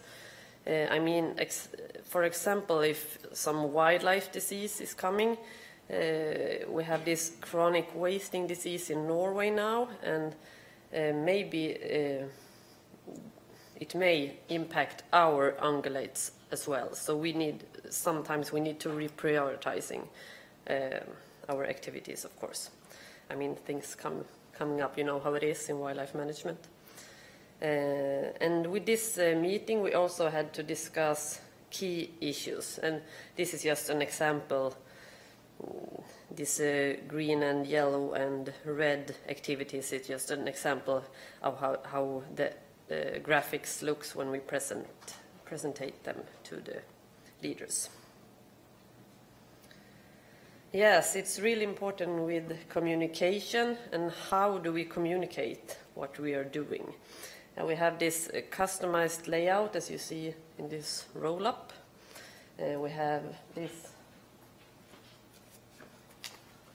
public report and we have it in English also so you can have it later on on email. I don't have it with me, fortunately we have this presentation, we had a poster, and we have a, a summary that we can send out to uh, before we're going to big meetings or conference. So it's a whole communicate, communicating package. Uh, we have uh, two different digital newsletter, and this is one of them. It's about wildlife management, and it's called uh, Viltnytt Wild News. We release it four times a year, and everyone who is interested can just sign it up, and then you uh, it com comes to to your email, so it's really easy. And this news is about the Swedish capercaillie giving hope in Germany because we have an exchange uh, program. So we put capercaillies in Denmark. We have also this uh, briefly uh, digital newsletter, and it's aimed for other authorities and stakeholders. And it's, uh, it's kind of brief news, uh, and it's published 10 times per year, approximately. Uh, and it's become really popular because you, I mean, we have information all the time, and this is really short news that you can uh, fast get an, a picture of, of what's going on in Swedish wildlife management. Uh, yes, we have, of course, other meetings, activities. This is my favorite meeting, when you just can sit and have a discussion over a cup of coffee. Uh, maybe we don't have that time so, so, so very often, but I think it's uh, really important to just discuss eye to eye in these uh, problematics issues. Uh, and we, uh, I mean, we support, we um, participate in meeting and conference, kind of like we're doing today. We have going to a lot of game fairs through whole Sweden, from north to south. We have meetings uh, with the Swedish Hunter Association uh, four times uh, per year. And also we try to get uh, stakeholders to communicate their part of the strategy. We have three national uh, councils in Sweden. One for large carnivore, one for ungulates, and one for large uh, birds. And now we're discussing to, I mean, maybe join them or have a national uh, wildlife council instead, like in, like in Denmark. Yes, have we seen some results of this hard work? Yes, actually we have. Uh, we, we see that um, the management has mm, gone from a more conservative uh, platform to a more applied management. And I mean, two years, it's, uh, you can think it's a long time, but it's not always. And um, as we can see at our agency, the definition of outdoor recreation lives uh, has expanded. So now is hunting and wildlife a part of outdoor recreation? And it's a really important issue for us working with wildlife management. It hasn't been there at all earlier. Uh, our agency also points out the importance of quality assured knowledge in wildlife management in different forums. And we also see that other agencies have project uh, or financing project concerning wildlife management. The Swedish Forest Agency has uh, uh, come out with this um,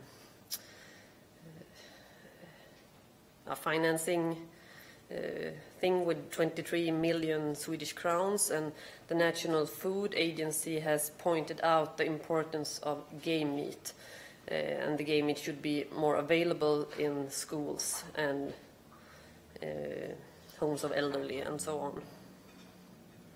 So we see uh, a change, and it, we're really happy about it. Uh, here are some examples of work in progress. Uh, we had, uh, I mean, these research reports that we finance, it's really important that the management are in need of this, so it's uh, high practical relevance. Uh, and some of the example is uh, we have the golden eagle predation on semi-domestic reindeer because in the reindeer husbandry area they're causing a, uh, a bit of a problem between the golden eagle and the calves of the reindeer.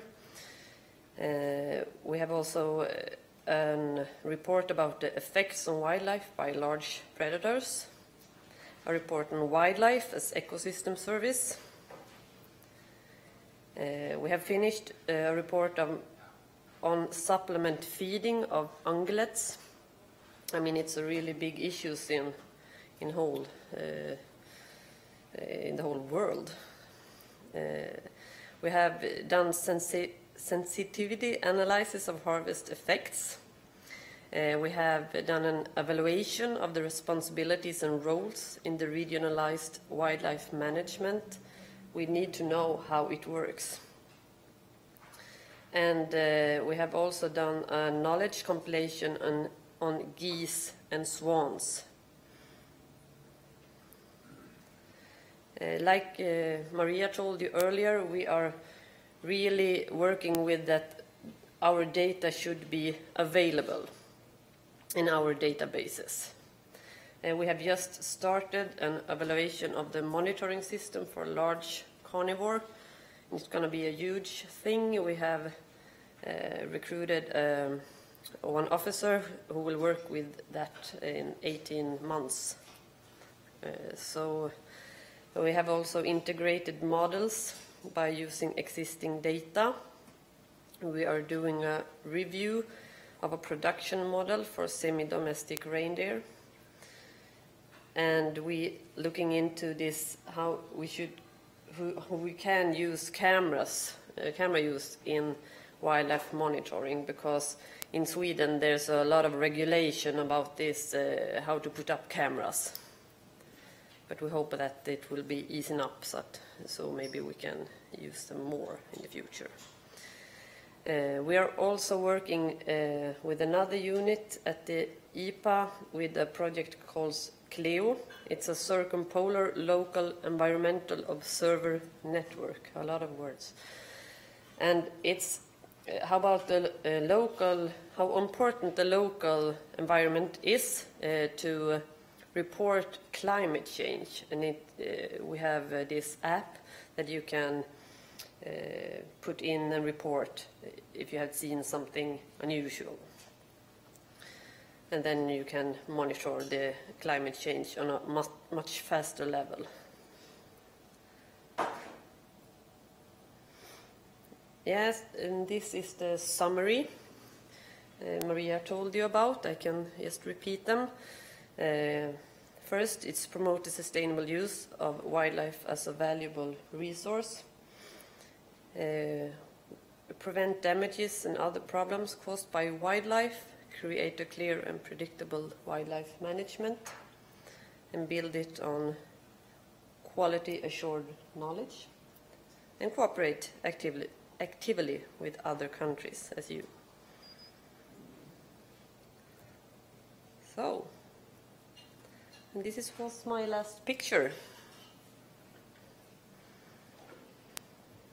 Thank you.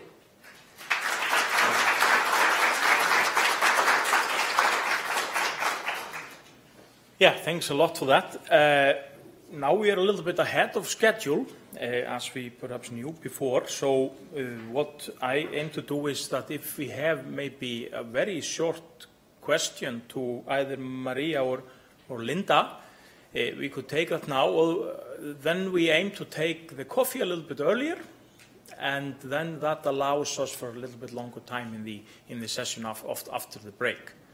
So do we have any quick question or comment to our good Swedish colleagues? Uh, yep. I'd ask Maria about this uh, political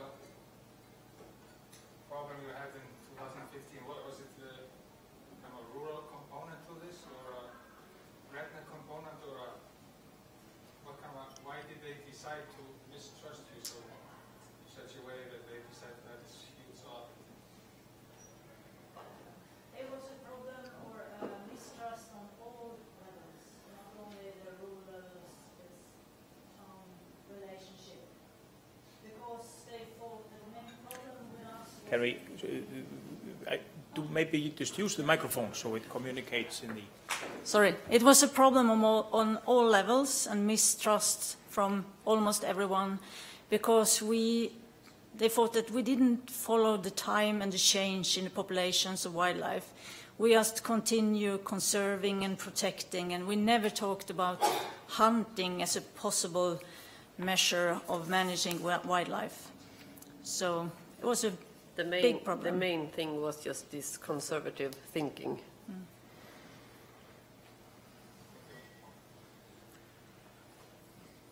Okay, we. Thanks a lot for that. We have we. we- Oh, sorry, there's another question there. Uh, speak loud, please. What you mentioned um, in one of the first slides, uh, a snowmobile association, but no tourism. So, uh, how is the snowmobile association, uh, how do you communicate with them? Or is it part of the planning or?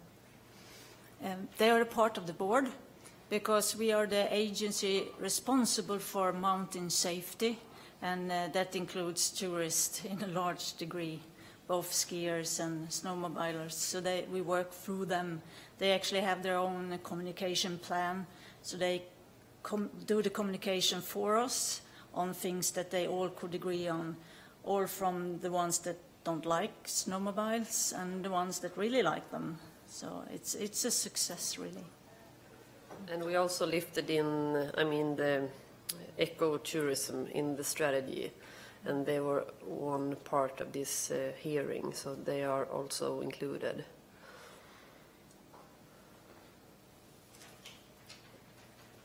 My name is Albert Robinson. I'm from the Icelandic Medical Association. Thanks for the presentations, very interesting. Uh, I'm just wondering, um, in, in the, your strategy, you have to take into account both financial interests, um, like the, the forestry and, and uh, a lot of other things. But um, in Iceland, it's more recreational driven, the, the hunting, uh, apart from a few couple of examples with the with the fox and, and uh, geese to some extent. Um, how would approaching the, the creating the creation of a strategy and implement the strategy in the end, how would you consider it compare these two tasks? Uh, your, from your experience and how you would see this happen here in Iceland? Well, Would that- there be a lot of difference? Maybe not. It's, uh, we take a more holistic approach. We don't have an opinion. We have a joint problem that we have to solve. And we have to sit down and do it together. Uh, independent, if it's uh, money involved from the forestry, that's a big issue in Sweden. And too much ungulate, ungulates like moose and deer that the hunters want to hunt. They have to make a compromise that's acceptable for everybody. I don't know if that was a good answer, but we can't just decide that uh, the forestry is so important for Sweden, so we have to decline the ungulate population. That's not for us to do because we have to decide it and do the compromise together. Yep. Speak a bit loud. Uh, question, you have a very short time frame to do this. Will you have a dedicated all the time in the world? If we had been given all the time in the world, we wouldn't have succeeded. because we needed this uh, time frame and uh, that it was mandatory to do, because otherwise the internal fight would have been really hard to overcome. It was not an option not to do it. And now we are half, uh, the half time has passed in the strategy, and it's uh, important that we also can uh, revise it. So it's, I mean, it's not written in stone. We can do some changes, uh, but it's important that we communicate it, about it, of course. But we can do some changes along the way. My name is David Ingason. I'm also from the Hunters Association. I would like to hear from you about the hunters' contribution in the, in the strategy. And also, I would love to hear about, uh, about how we ensure that the strategy is rooted in the, in the local, in, in the local conditions. Uh, the hunters' contribution is really big. We have 300,000 hunters in Sweden. They are behind the trigger and doing a lot of wildlife management and protective hunting. So we need to cooperate. That's why we have these scheduled meetings with them four times a year, and we do joint communications with them. We don't always have the same opinion, but we are extremely informed about each other's policies and opinions. So I think we have a really good cooperation with the hunters.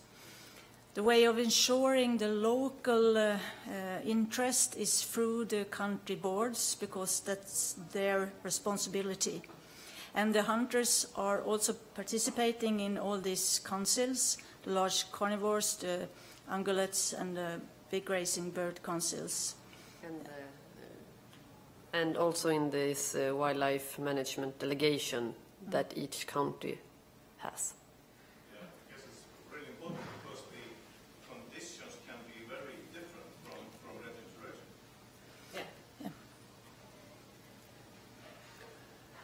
Uh, gr- yeah, sorry. Well, it's uh, very interesting uh, talk and uh, it's really interesting project. Uh, I'm wondering about the practical side, the countries whether you do this in a very short time period and it involves huge amount of people and how about the money? Did, did it follow with it No, we didn't get, we never get extra money for commissions from the government. So uh, the steering committee at the EPA decided to have one journalist, one wildlife scientist, that was me, one wildlife practitioner familiar with guns and traps and stuff, and one communicator, one project leader, and one lawyer. That's all. We have one more question before the coffee break, so please. Yeah, it's Anna again. Um, Because you mentioned the financing of of the operation. How is this financed? Is it financed by fees from uh, hunters, or is it uh, financed by the the government? Uh, we got some extra money motivated in the budget proposal from us. I think it's around uh, 10 million Swedish krona. But the main thing that actually make this possible is how we work. We changed our way of working. So everything we do at the EPA concerning wildlife management is within this strategy. We don't do anything else. So it didn't cost money, but it cost a lot of effort. But Who finances the, the, the, uh, to run wildlife management in Sweden? Is it financed by, by, by the government, or is it financed some, somewhere else? Oh, it's different uh, uh, pots. We are financed by the government, uh, except one thing, and that's wildlife research. That money we get from the government through the hunters, and that's exclusively for wildlife science. Otherwise, the money comes from the government. But the Hunters Association in Sweden have a government-like task, so they get money back that the hunter pays for their hunter permits from the government to the Hunters Association, and then they have like tasks from the government that they have to work with, like hunting ethics, supplemental feeding, more females into hunting and stuff like that. So the hunting associates is contracted with certain tasks. Yet not really by us, but by the government. Uh, Great, we can continue. We have more time for discussion in the afternoon, so we thank Maria and Linda for this input. Uh, Then we have time for coffee. Now we are moving to the to the later part of the conference, uh, and we have ahead of us uh, two speakers that have somehow interconnected talks uh, uh, on goose management. Uh, and first, I would like to introduce uh, Mrs. Eva Meyer. Uh, that she comes from the UNEP African Eurasian Agreement on the Conservation of Migratory Water Birds. It's a long name, but a short acronym, AEWA, which is something that we are maybe a little bit more familiar with. Uh, Eva is a conservation biologist focusing on diverse areas of international nature and biodiversity conservation, including the protection and management of threatened birds. And as I understand, she is the coordinator of the AEWA Goose uh, Management Platform. Another long word. So please, the floor is yours.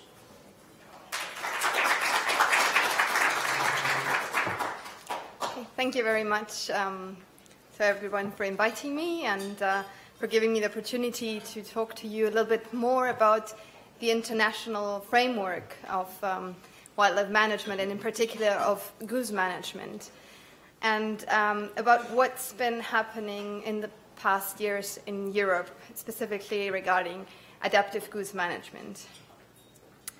So, as you've heard, I work for the Agreement on the Conservation of African Eurasian Waterbirds, migratory waterbirds.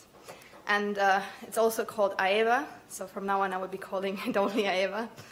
And um, I would like to give you a little bit more of uh, background about what AEWA actually is and what we do.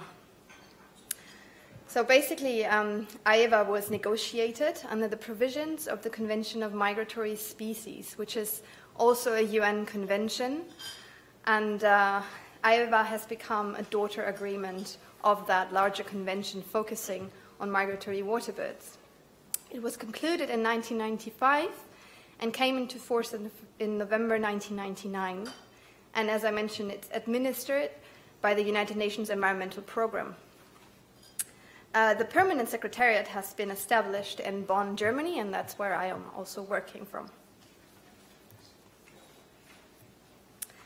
So, the fundamental principle of this agreement is that all the parties, all the contracting parties, and I um, wanted to highlight that Iceland is also a contracting party to AEWA, shall take a coordinated um, measures to maintain migratory species in a favorable conservation status or to restore them to such a status if they're not already there. Um, and within the agreement, um, there are also provisions regarding the sustainable use. The sustainable use of waterbirds is also recognized here and clearly defined. However, the parties should ensure that any use of migratory waterbirds is based on the assessment of the best available knowledge of their ecology and is sustainable for the species as well as for the ecosystems that support them. So the key words here are the migratory waterbirds, as I mentioned before. And what we mean with migratory waterbirds are all those species that are ecologically dependent on wetlands or at least uh, during part of their annual cycle. And um, this is like a really important point that I want to make here because we're looking at a flyway conservation approach. So within this international framework, we want countries to collaborate with their management measures because it does not make much sense for just one country that shares a population, though, with other countries to implement measures here and completely opposite or different measures in, in the next country. But these measures are going to affect the same population across the flyway or the range. So here in this map, you can see um, in blue the range states, which are contracting parties to the agreement. And at the moment, we have 77 contracting parties that have ratified the agreement. And out of these 77 parties, 44 are from Eurasia and 36 from Africa. And we're continuously growing, I hope.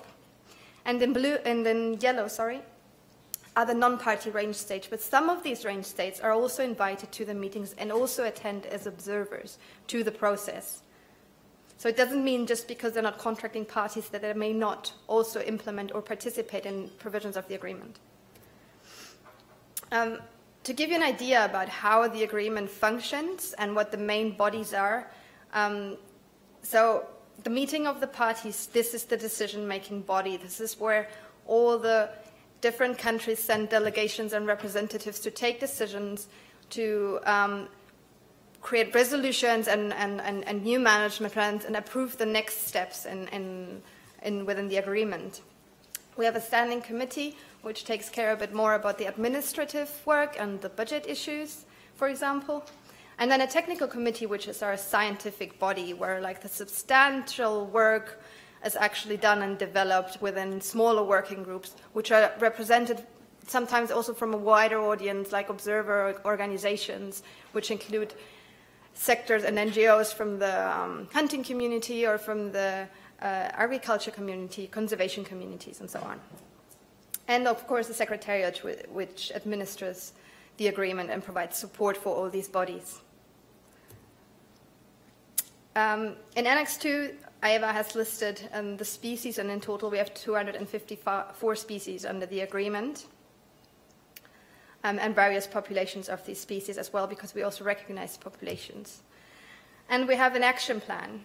And in this action plan, there are certain priority areas where the agreement works, and this is regarding species conservation, habitat conservation, management of human activities, research and monitoring, education and information, and obviously implementation as well. One of the implementation tools that the agreement has are the development of certain specific action plans and the use of and the working groups, the establishment of working groups. And um, the way that this functions is that for priority species or species of concern, you, like range states to these species, get together to create management or single species action plans, which include specific measures and specific tools to implement this plan. And along with this um, action plan, which should not just stay as a document itself, a working group is created, which, depending on which working group we're talking about and which species, meets either annually or every three years, and also intersessionally. It keeps working and looking at how these plans are being implemented, and eventually they're also revised and updated. So, to move on, within the provisions of the agreement, um, there are also provisions for waterbird management, and we also recognize that in addition to having to um, conserve species, which is where we develop these action plans, there's also species that may um, cause damage. And uh, regarding damage control, the agreement states that parties shall cooperate with a view to identifying appropriate techniques to minimize the damage or the, to mitigate the effects of damage, in particular to crops and fisheries. But parties should also cooperate with a view to developing these single species management plans for populations which cause significant damage, and this is also in particular to crops and fisheries. So this is not just about species that are declining, but also, for example, for species that are growing and populations that are becoming overabundant as well. AEWA also has a strategic plan which is currently under revision, but within the strategic plan, there's also a target which mentions adaptive harvest management of quarry populations um, that should be required at an international level. So again, we're talking here about collaboration of all the range states.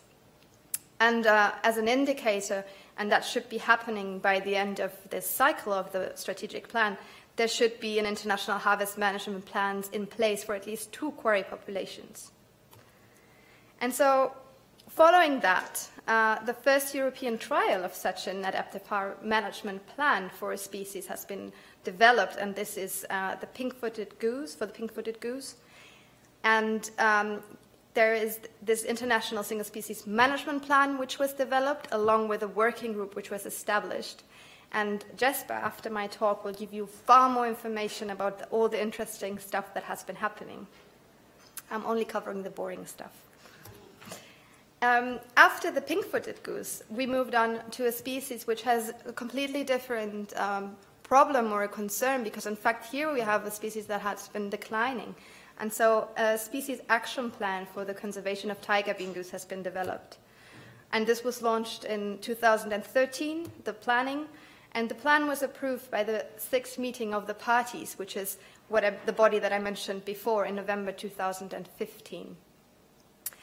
Uh, so for this species, an adaptive management program was also developed last year. And uh, it, it's quite a good success story because at our annual working group meeting this year, for the first time actually, there was consensus reached amongst countries in Europe on how to reduce hunting to enable the species to recover.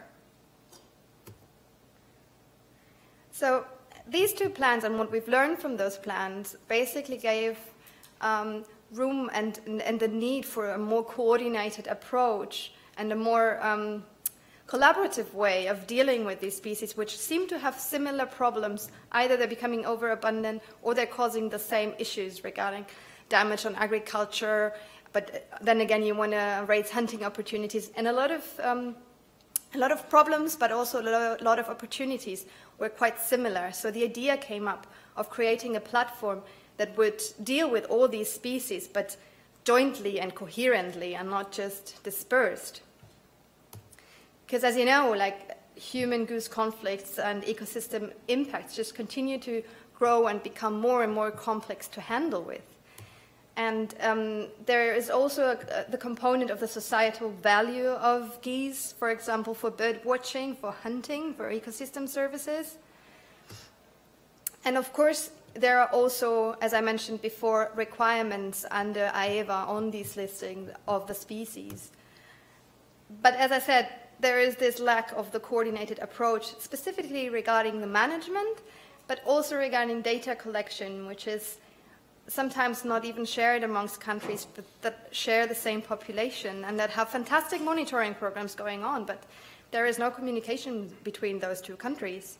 And the same thing applies to the harvest or to the derogation shooting, which is not always reported, um, even though it should be. So basically, the need to have a structured flyway scale decision making process is actually quite high. And this platform, the European Goose Management Platform, the idea of this platform could also serve as a model which could, could then be used for other species and for other water birds and, and, and, and issues with water bird harvest in general. So eventually, uh, at the sixth meeting of the parties, an EGMP mandate was given by the countries under the resolution.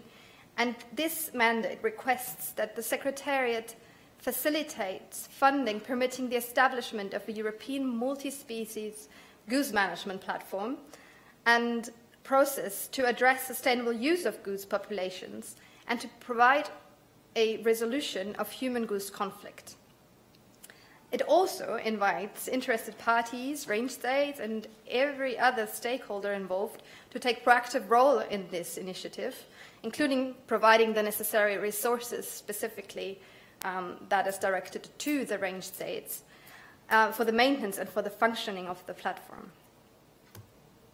So the EGMP was established in 2016 under the Paris Declaration. This was a negotiation meeting which took place in, uh, in Paris. And um, here, basically, the establishment of this platform was confirmed, and the modalities of the platform, how it should work, were agreed.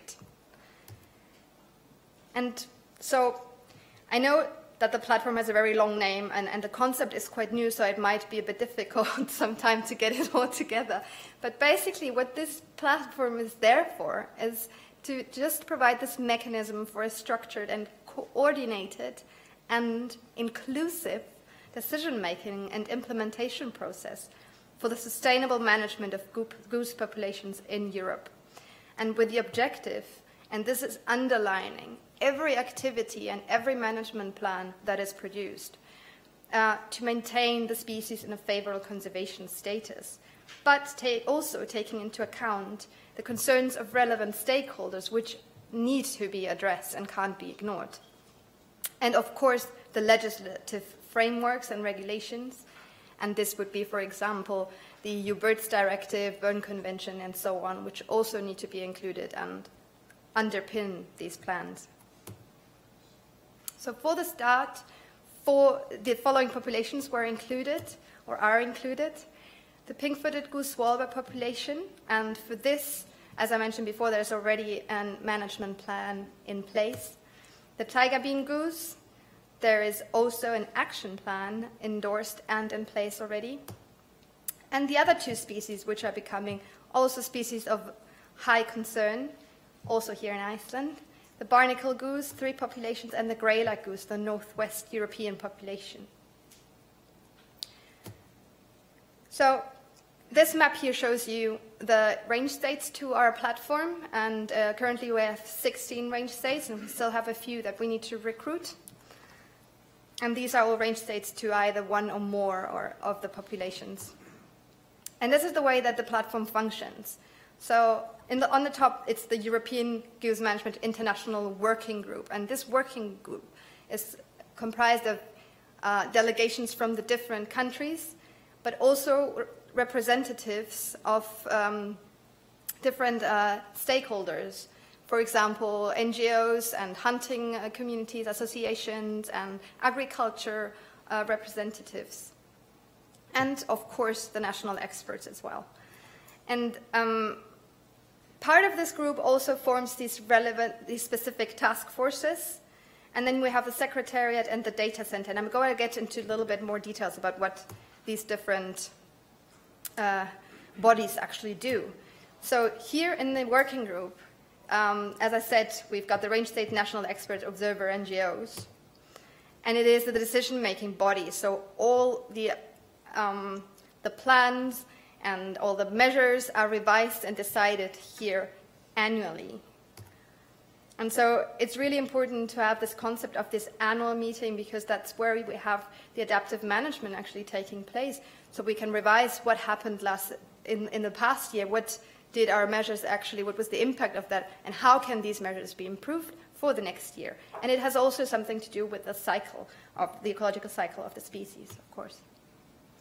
So uh, this body responds to the recommendations produced by the task forces and, of course, by the data center. Oh. Um, so these task forces haven't yet been established, but um, we have an agriculture task force which is dealing with that issue more specifically, so you don't have to deal with within the whole context. The pink-footed and the taiga bean task force are revising the implementation of the action plans and providing new feedback on for the working group and the decisions. And then you have the Secretariat and the Data Center, the Secretariat, which is based in Bonn, and the Data Center, which is based in Aarhus, Denmark. And we work very closely together. And uh, basically, the Secretariat coordinates the platform while the Data Center is, is coordinating everything that's, uh, that's data. So all the countries are sending their information and their data to the Data Center. And together with the Modeling Consortium, which is an expert group that meets as well, probably yearly or twice a year, depending. These um, biological assessment and prediction models are produced, which then inform um, the working group. this is my favorite diagram. It's just to show you a little bit the workflow, and um, please don't get too confused with all the arrows, but you basically can see how this working group um, that, that you have the different populations and the different countries represented in the working group that provide the information to the data center so that the data center can evaluate the information and feedback to this meeting with what measures and what specific actions need to be taken. So until next year, this, this was more or less our timeline, and we're quite good with that. We've got the pink-footed goose in its implementation phase, the taiga bean goose as well, and as I mentioned before, the barnacle goose and the greylag goose are right now in the planning process, and hopefully soon we'll have an adaptive harvest management plan as well. Um, this is the, well, we had the first workshop for the barnacle goose early this year, and that is in progress, and a few months ago, well, one month ago, God, time passes, we had a workshop in Paris for the greylag goose as well with relevant stakeholders, and that was really useful because we could get all the feedback and all the information that we needed to continue this planning process. And uh, as I said, we're going to soon have the modeling consortium sitting down with all the data that has been provided. The task forces will be convening and preparing the information for the, our next meeting, which would take place in June. And where we're still looking for a host country, and which could potentially, if Iceland would be interested, be Iceland, and if then I would need to know that as soon as possible, so we can start planning. Um, but the take-home message from my presentation here is actually that whatever we're going to do in species management and in conservation needs to have certain elements in it, and it has to be coordinated so actions shouldn't be, uh, they should be coordinated at various levels, local, national, and international as well. You can't just do one without the other.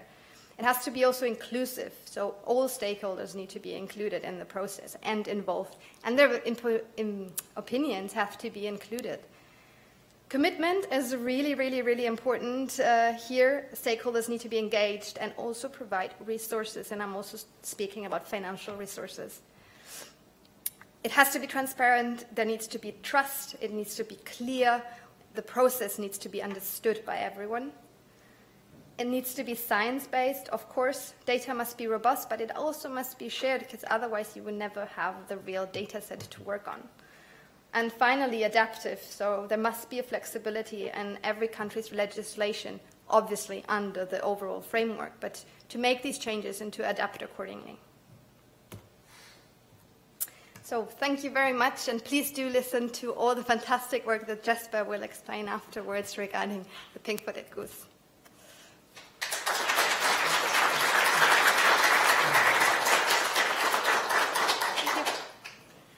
Great. Uh, we thank uh, Eva so much for extremely interesting talk on the AEWA mechanism and how the goose management platform aims to operate. And I understand that the next speaker sort of takes the discussion, discussion directly from where she left, uh, going into the management plan in action for goose.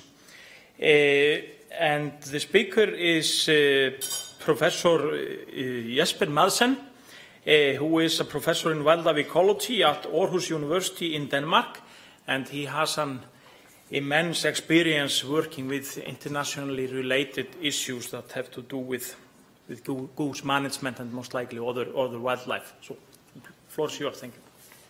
Thank you very much. I have my presentation on the desktop.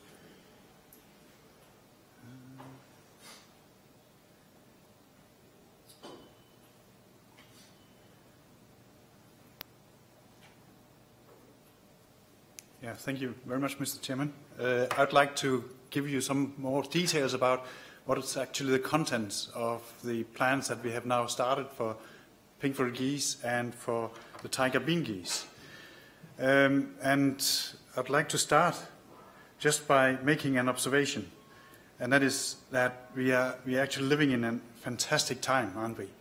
Uh, I started watching geese uh, when I was a young, young boy uh, at university, and we, we were really concerned about the conservation of geese in Europe.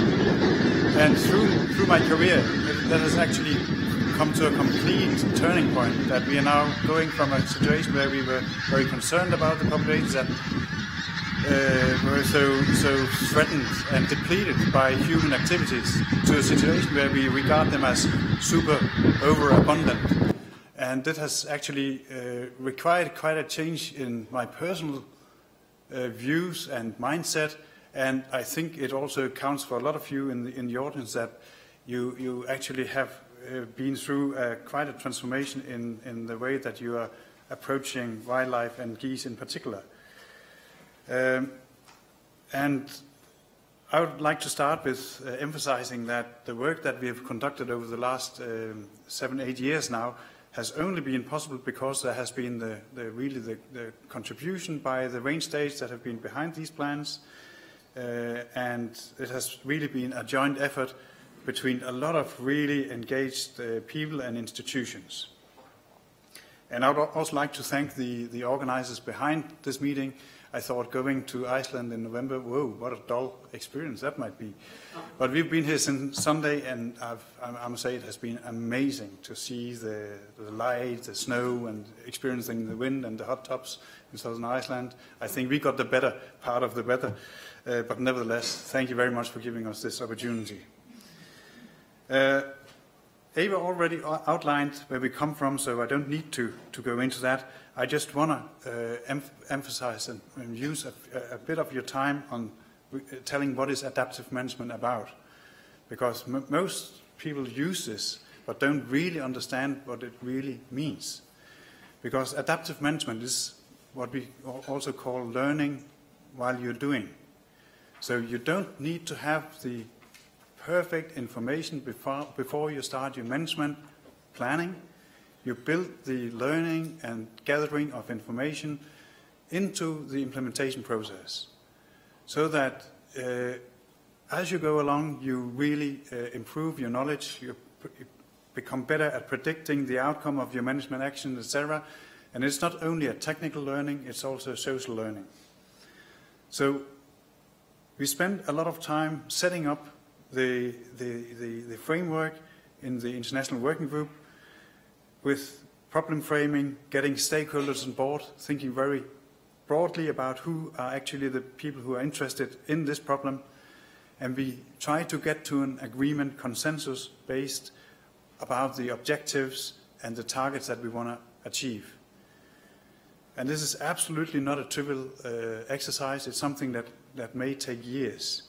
In case of the pink-footed geese, we, we talked for two years before we actually got down to the concrete agreement about the objectives and the targets.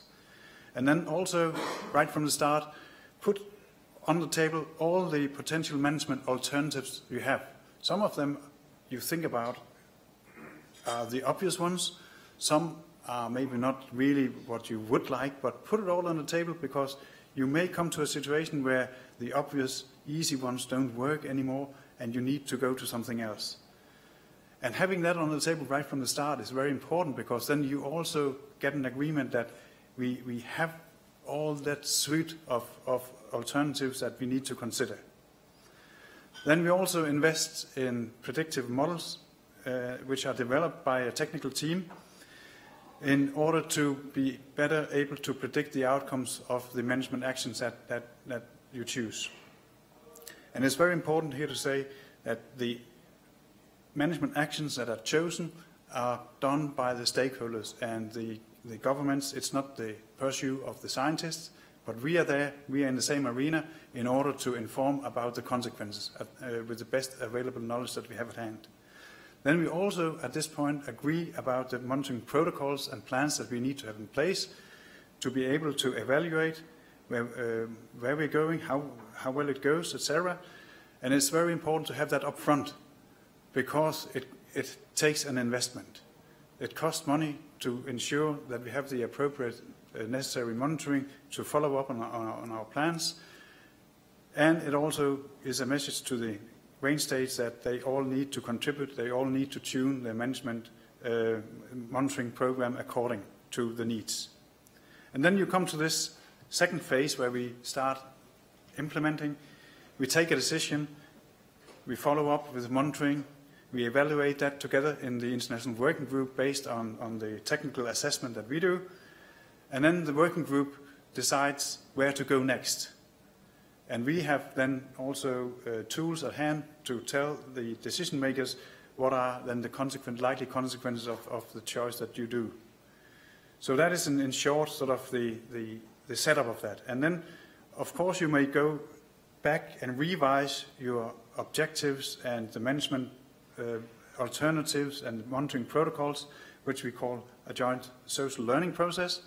And then, of course, we may come to a situation where AEWA doesn't exist anymore, or Iceland goes under, or whatever you can imagine. Um, we need to we need to reorganize the institution uh, setup um, uh, behind this. So that's what we call a double loop revision. But the beauty of this kind of setup is that we have we have the mechanism in place. We have the overall structure in place in order to, to cope with these uh, situations. And then what it is about is, as I said, we reduce uncertainties as we go along uh, from one system state to the next, and we take some actions, we evaluate the, the, the outcomes, and over time we are then maximizing the sum of the, of the outcomes. And of course we have some uncertainties about the controllability. For instance, if we use hunting as a management tool, we may not know exactly from the start how well does this actually live up to uh, the needs that we have. Can hunters actually deliver shooting more geese? And the observability by, by the, by the uh, observer, observation network, can they actually observe the changes in the population size according to the management actions that we take? We also have the environmental uh, uh, variation, not the least the, the, the changes in weather from year to year or uh, factors affecting the breeding uh, or the survival of the populations. And of course, then we also have, a, a, a, from the start, an uncertainty about the dynam dynamics of the system. Not only the, the, the biological system, the goose population, but also the uncertainty about how committed are, is, is the whole social uh, community behind this. Are you actually committed enough so that we can ensure that we can progress as we have actually decided from the start. We don't know that before we, we, we started.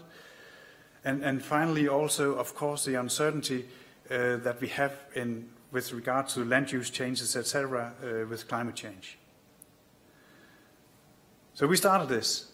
In 2010, we had the first meeting and led to the implementation in 2012 with the pink-footed geese, and we started with the Svalbard population.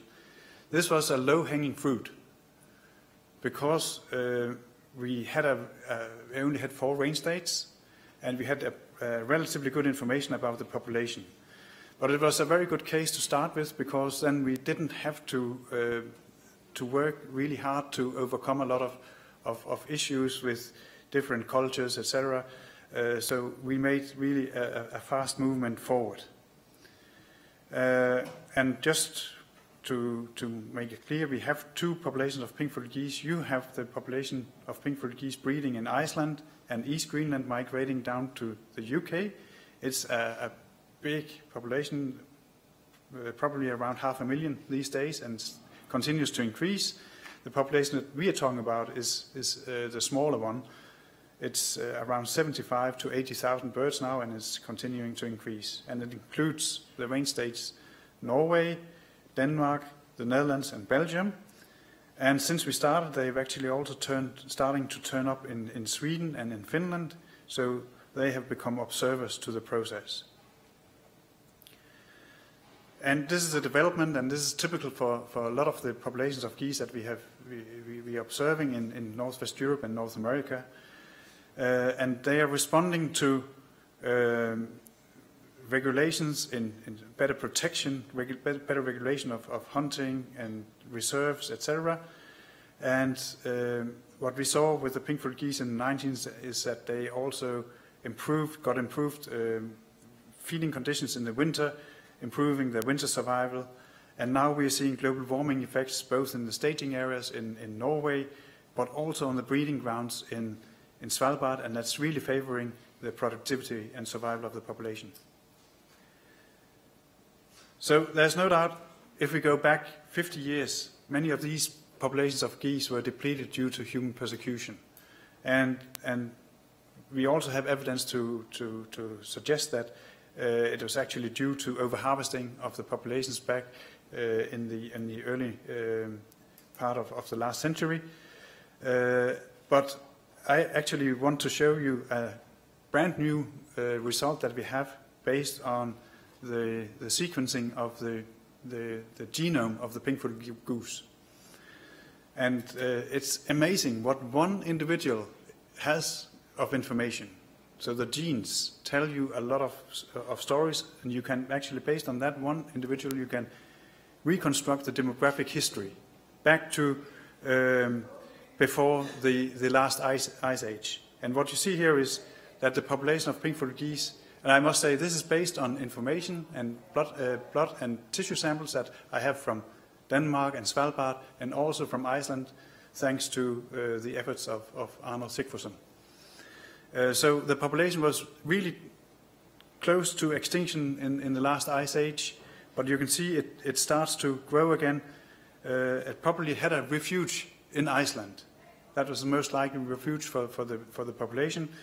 And then you have um, people um, moving into northwestern Europe, and you have the start of the deforestation and the cultivation of, of, of agricultural lands uh, around uh, uh, three to four thousand years ago.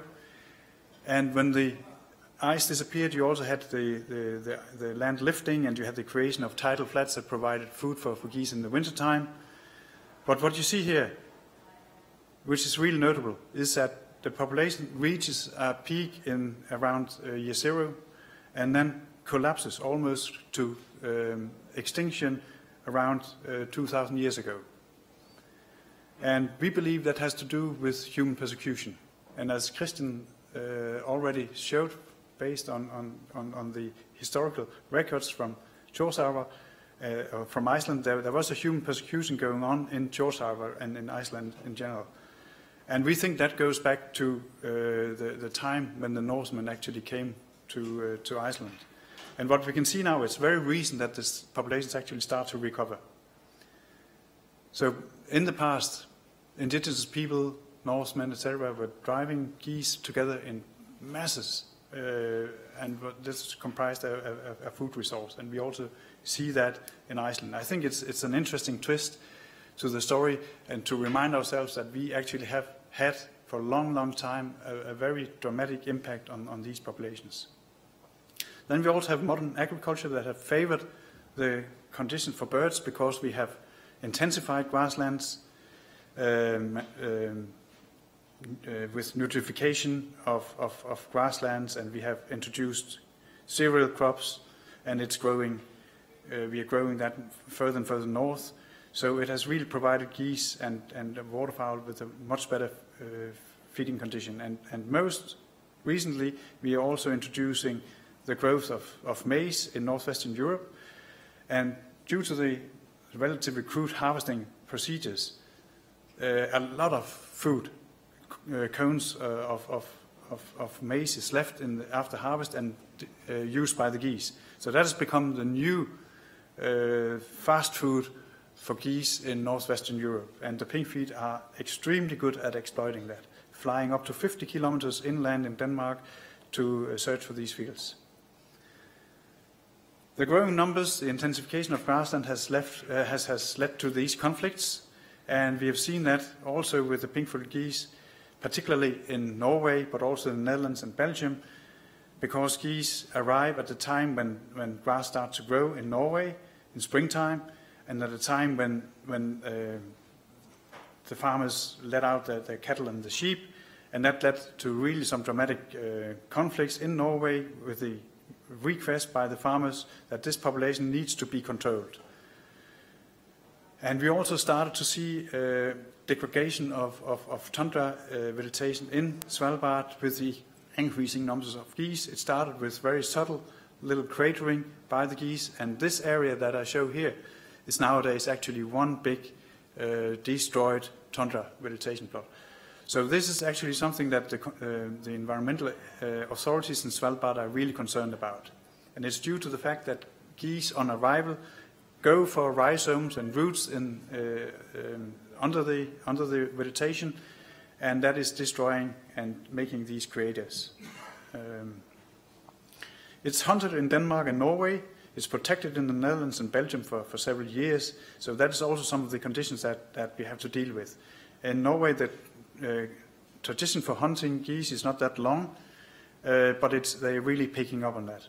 And in Denmark, we have had a lot of is issues around, uh, controversy around the hunting. So there's a lot of focus on the fact that we should avoid the crippling of geese. Uh, and there's an action plan in Denmark in place to avoid uh, the, the, the, the proportion of the population that is crippled. So why do we need an adaptive approach here? As, as, as I am sure you, you'll, you'll agree to, we have real dynamic processes, and so are the environmental and the political administrative settings. They are highly dynamic. And the situation constitutes a management dilemma which calls for careful treatment and stakeholder consensus if possible.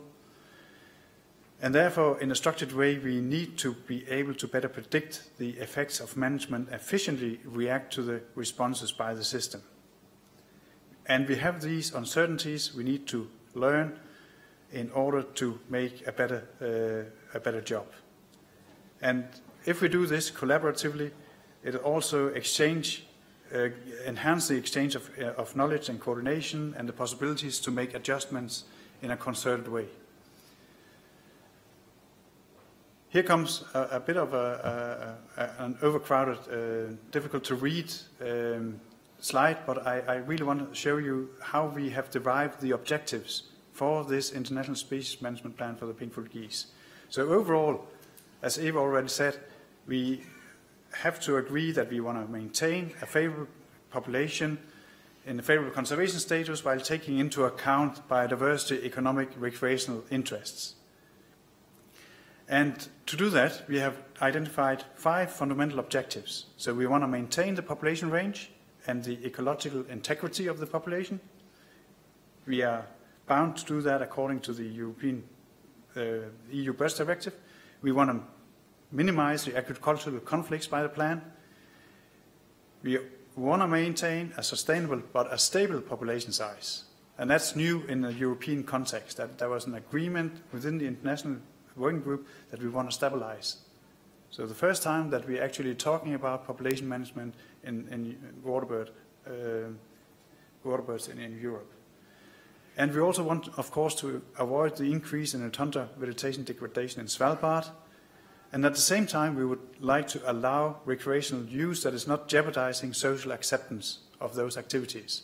And here we think, first of all, about the hunting.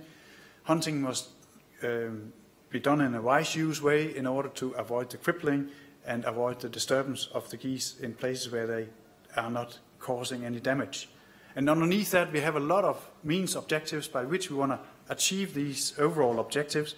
And I just want to show you how they are interconnected but also that what was really new and what was really difficult to agree on was that we agreed to a population target of around 60,000 birds.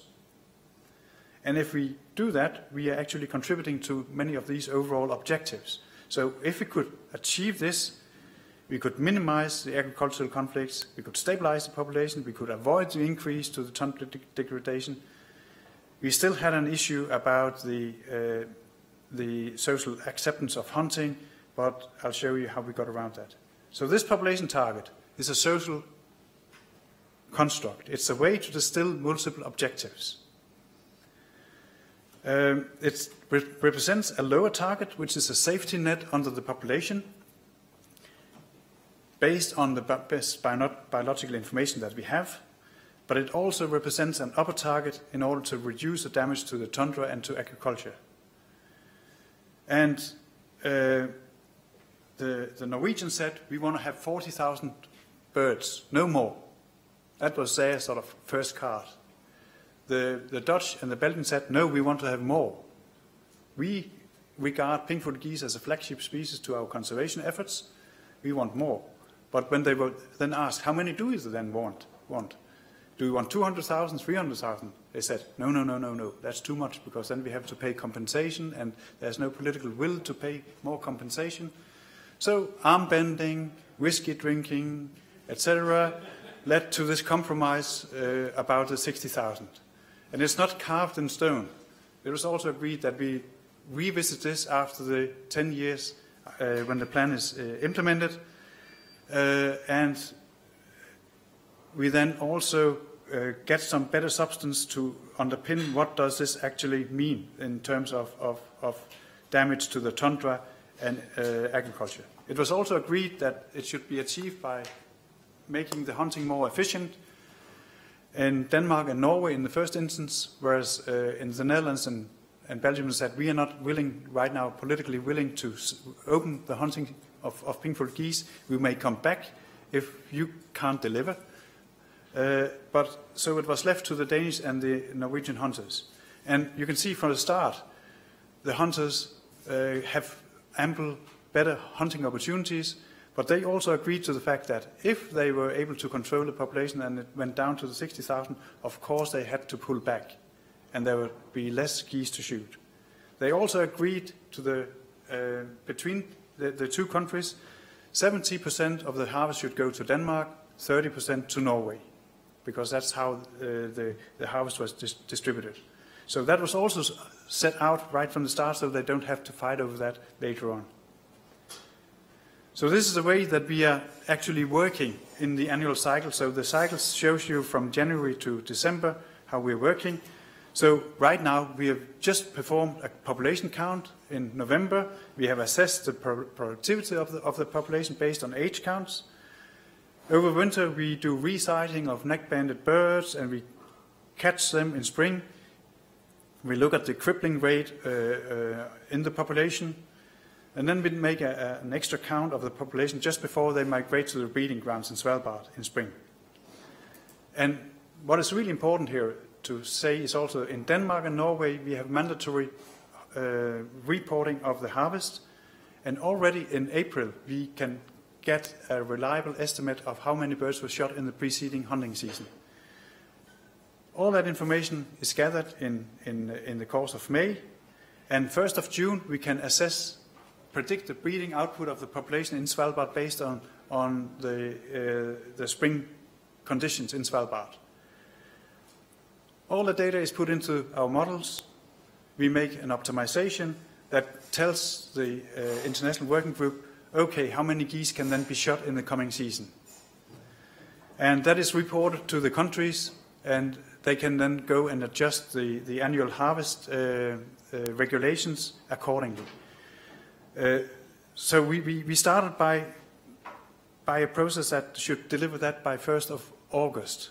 But they said that's too late because it takes too long for us to, to set the regulations. So we are now pushing that forward. So on the 7th of June, five days after we have the last information gathered, we produce the optimization to the, to the countries. In the middle of June, we have the international working group that then make the recommendations. So it's the, the, the process is squeezed down to 14 days Uh, of course, that's optimal and that's really efficient, and those things we can, we can do the same for, for the other populations. I already came to that. So we are in a situation where we are now really balancing multiple and seemingly conflicting objectives. So on one hand, we need to shoot more geese, fine. We need to, we have agreed that we want to reduce the disturbance. That may be in conflict with shooting more geese if that's not uh, done efficiently. And we also need to reduce the crippling. And how do we go around that? I don't want to go into details, but the actions that we have taken in both Norway and Denmark have been really uh, very targeted towards the effective hunting of shooting. So developing understanding of hunters' behavior and motivations was, was very important. Were they willing to play the game as the managers? We didn't know in advance. It was one, one of the social uncertainties that we had. So we need to map that and understand it, discuss it with the hunters. And they said, yes, we are willing. And then to, to train them in effective goose shooting, we did that experimentally. We did that with adaptive voluntary demonstration projects in both Norway and Denmark. And you see some of the uh, ambassadors that we have over to the, uh, uh, on, on this slide. And then we also had practical tailored training courses in goose shooting uh, in operation now in both Denmark and Norway, and local national dissemination of the outcomes of this. Very important. And then international ex uh, experience uh, exchange. And what is very important is that all the way along we have engaged local ambassadors from our projects uh, on the ground, in the field, into the international working group so that they can go back and tell what this all is about, and they can bring to the table also what works in practice, what doesn't work in practice. That has been extremely uh, helpful to the whole process. And then we are continuously uh, making awareness campaigns uh, about this. So yes, we can say we have done this, we have actually done this, we have achieved this. We come from a situation where when hunters went, went out shooting, for every bird that was taken down, one was crippled. We are now in a situation where the hunters shoot eight birds and cripple one. Based on the campaigns that have been running in Norway and Denmark, I think that's pretty impressive. Okay, here we are. I'm finishing in a few minutes. We are uh, in a situation where we had the increasing population we increased the harvest pressure in both Denmark and Norway, and we started to see the decline of the population. We have now had a, a couple of, of, good breeding seasons in Svalbard, and the population is increasing again. Uh, so there has to be an uh, there has to be an intensification of the hunting again. These are the two years when we introduced shooting of pink-footed geese in Denmark in, in January, and they, as you can see, it really had an effect on the harvest uh, of the population and the harvest impact also increased, but it's still not enough. We are in a pretty sensitive situation right now. If we have one or two good breeding seasons in Svalbard in the coming years, we run the risk that the population is running away from us. And then we have to go back to the international uh, working group to make this uh, discussion. So what? What, what are we going to do now? Are the governments in the Netherlands and Belgium now willing to take part in this process or not?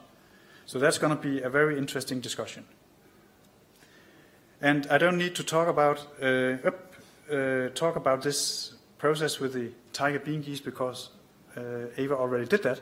But I would like to emphasize uh, that since the start of this, Iceland has actually taken part in the process. And uh, Sigurdur Sveinsson from the ministry is actually with us today, and we are very pleased that, that Iceland is now really taking this international collaboration uh, seriously.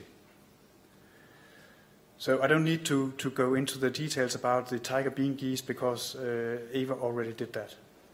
So um, just to say that we are now here in a situation where we have also conflicting uh, objectives of recovery of the population and maintaining hunting opportunities. So again, this is something that needs to be controlled very effectively between the countries, but it's also seen very vital to the process uh, in the countries that you, we need to maintain the hunter support uh, because they are actually creating a lot of habitat conservation for geese, in, particularly in Finland.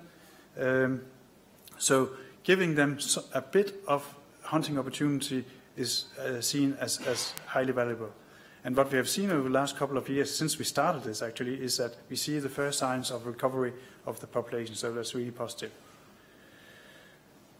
So finally, I think we have proof of concept. Adaptive management is a useful way forward to structure these management processes, but it requires the investment, it requires capacity building technically, socially, organizational, uh, and it really requires a solid organization. And I think uh, the AEWA concept really shows how to do it.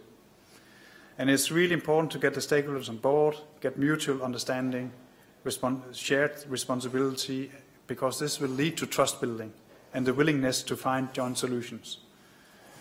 And then it's still regarded pretty controversial about the population targets, but I think both in the case of the pink-footed geese and the taiga bean geese, it has really been beneficial to have some sort of target at which we agree to. Yeah.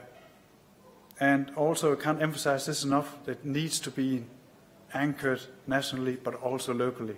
Otherwise, it's not going to fly. And it also requires the integrated collaboration between the authorities, the stakeholders, and the scientists in order to uh, step up the learning process.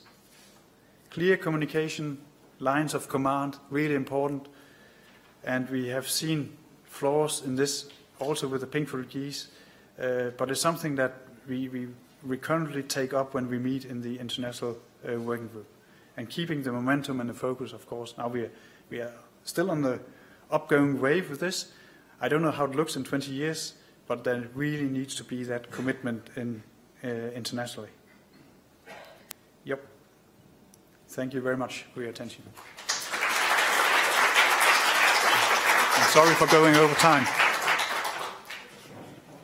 Yeah, we, we thank, uh, thank uh, Jesper very much for, for, this, for his presentation. Uh, now I think we will uh, change to the, uh, to the discussion section.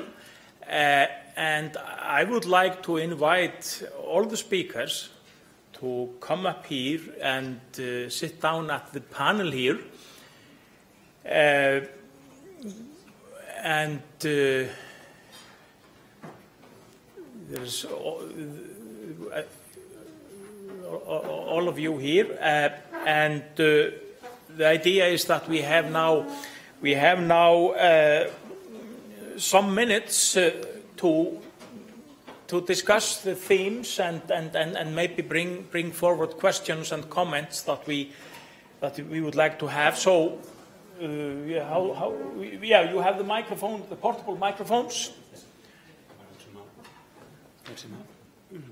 Yeah, einmitt, eh, exactly. Yeah, great. So, so please, the, the, the, the, floor is open. And Bjarni has the portable microphone. So maybe I could ask you to introduce yourselves uh, and, and, and, and raise the questions to the, to, the, to the people at the panel, please.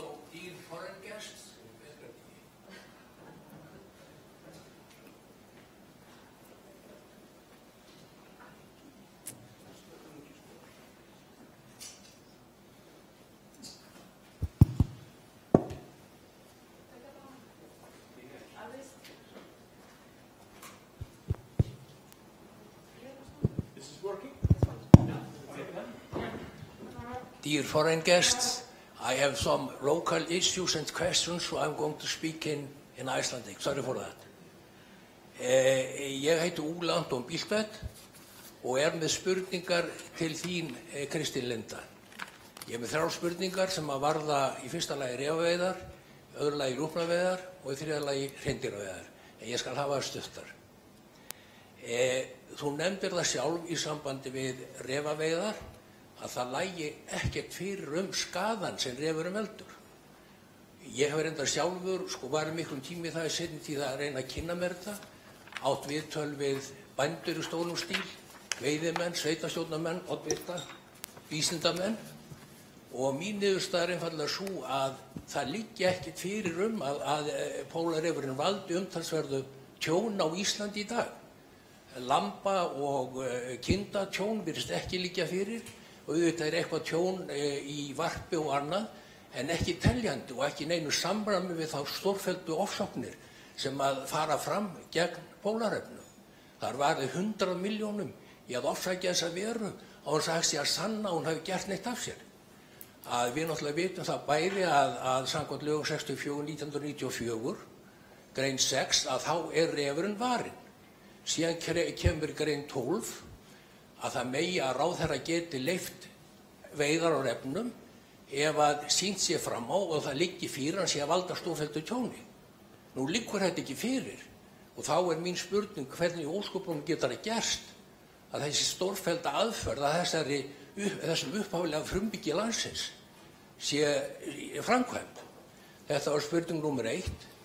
Spurning nummer tvö tengist rjúpunni að hún er náttúrulega fríðuð samkvæmt sömu lögum og sömu lagagrein 64.1994 grein 6 samkvæmt grein 7 má hér eh, veita heimil til að veiða rjúpuna og önnur dýr sem eru fríðuð en þó innan þeirra marka að ekki sé veitt meira en nefnur viðkomu stoppsins. Nú er það svo samkvæmt um gögnum sem ég hef komist yfir að fljótlega eftir að lögin voru sett 1994, 96, 97 fyrir stofnin hafi verið minnst 300 dýr, fuglar, vorstofnin. Eh, engu að síður er það svo að þessi stofn er komin í 100.000 í fyrra þannig að það er búið að, að, að fækkonum um tvo þriðju á þeim tíma sem liðin er og þetta er náttúrulega þær brítur lögin, grein 7 í lögunum sem ég var að tala um.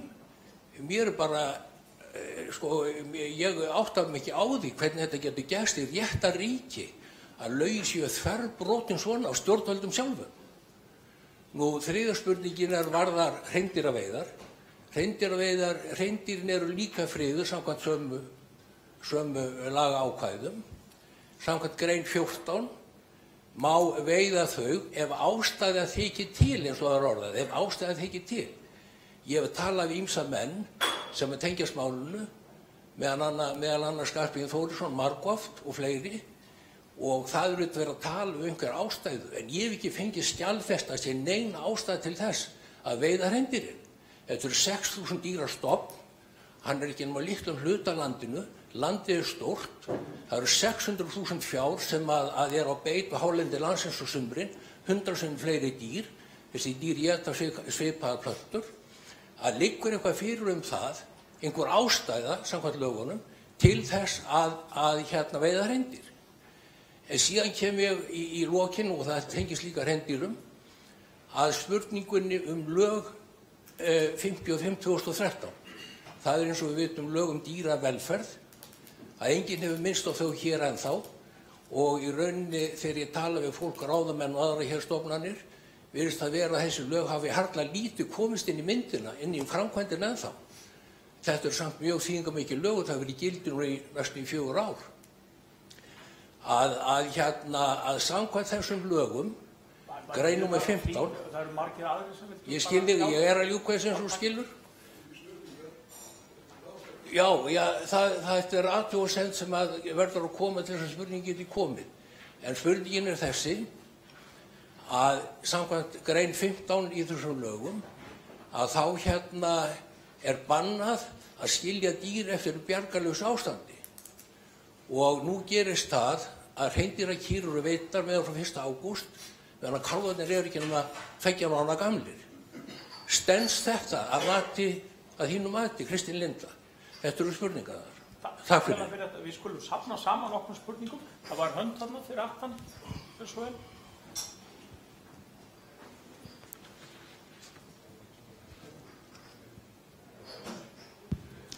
Yeah, thank you. Some questions to Jesper. My name is David. I'm from the Hunting Association.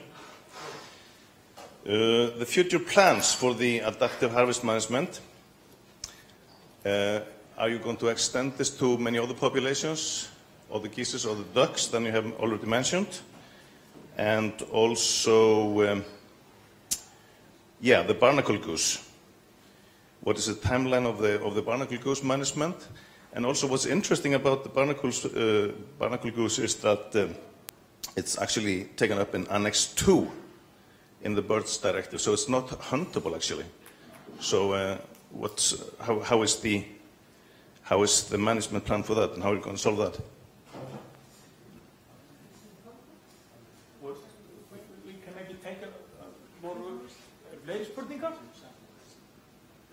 Fleiri komment? Uh, I, I had another question that maybe I can add to the, I can add to the portfolio. Uh, that might be either you, Eva, or, or, or, or, Jesper.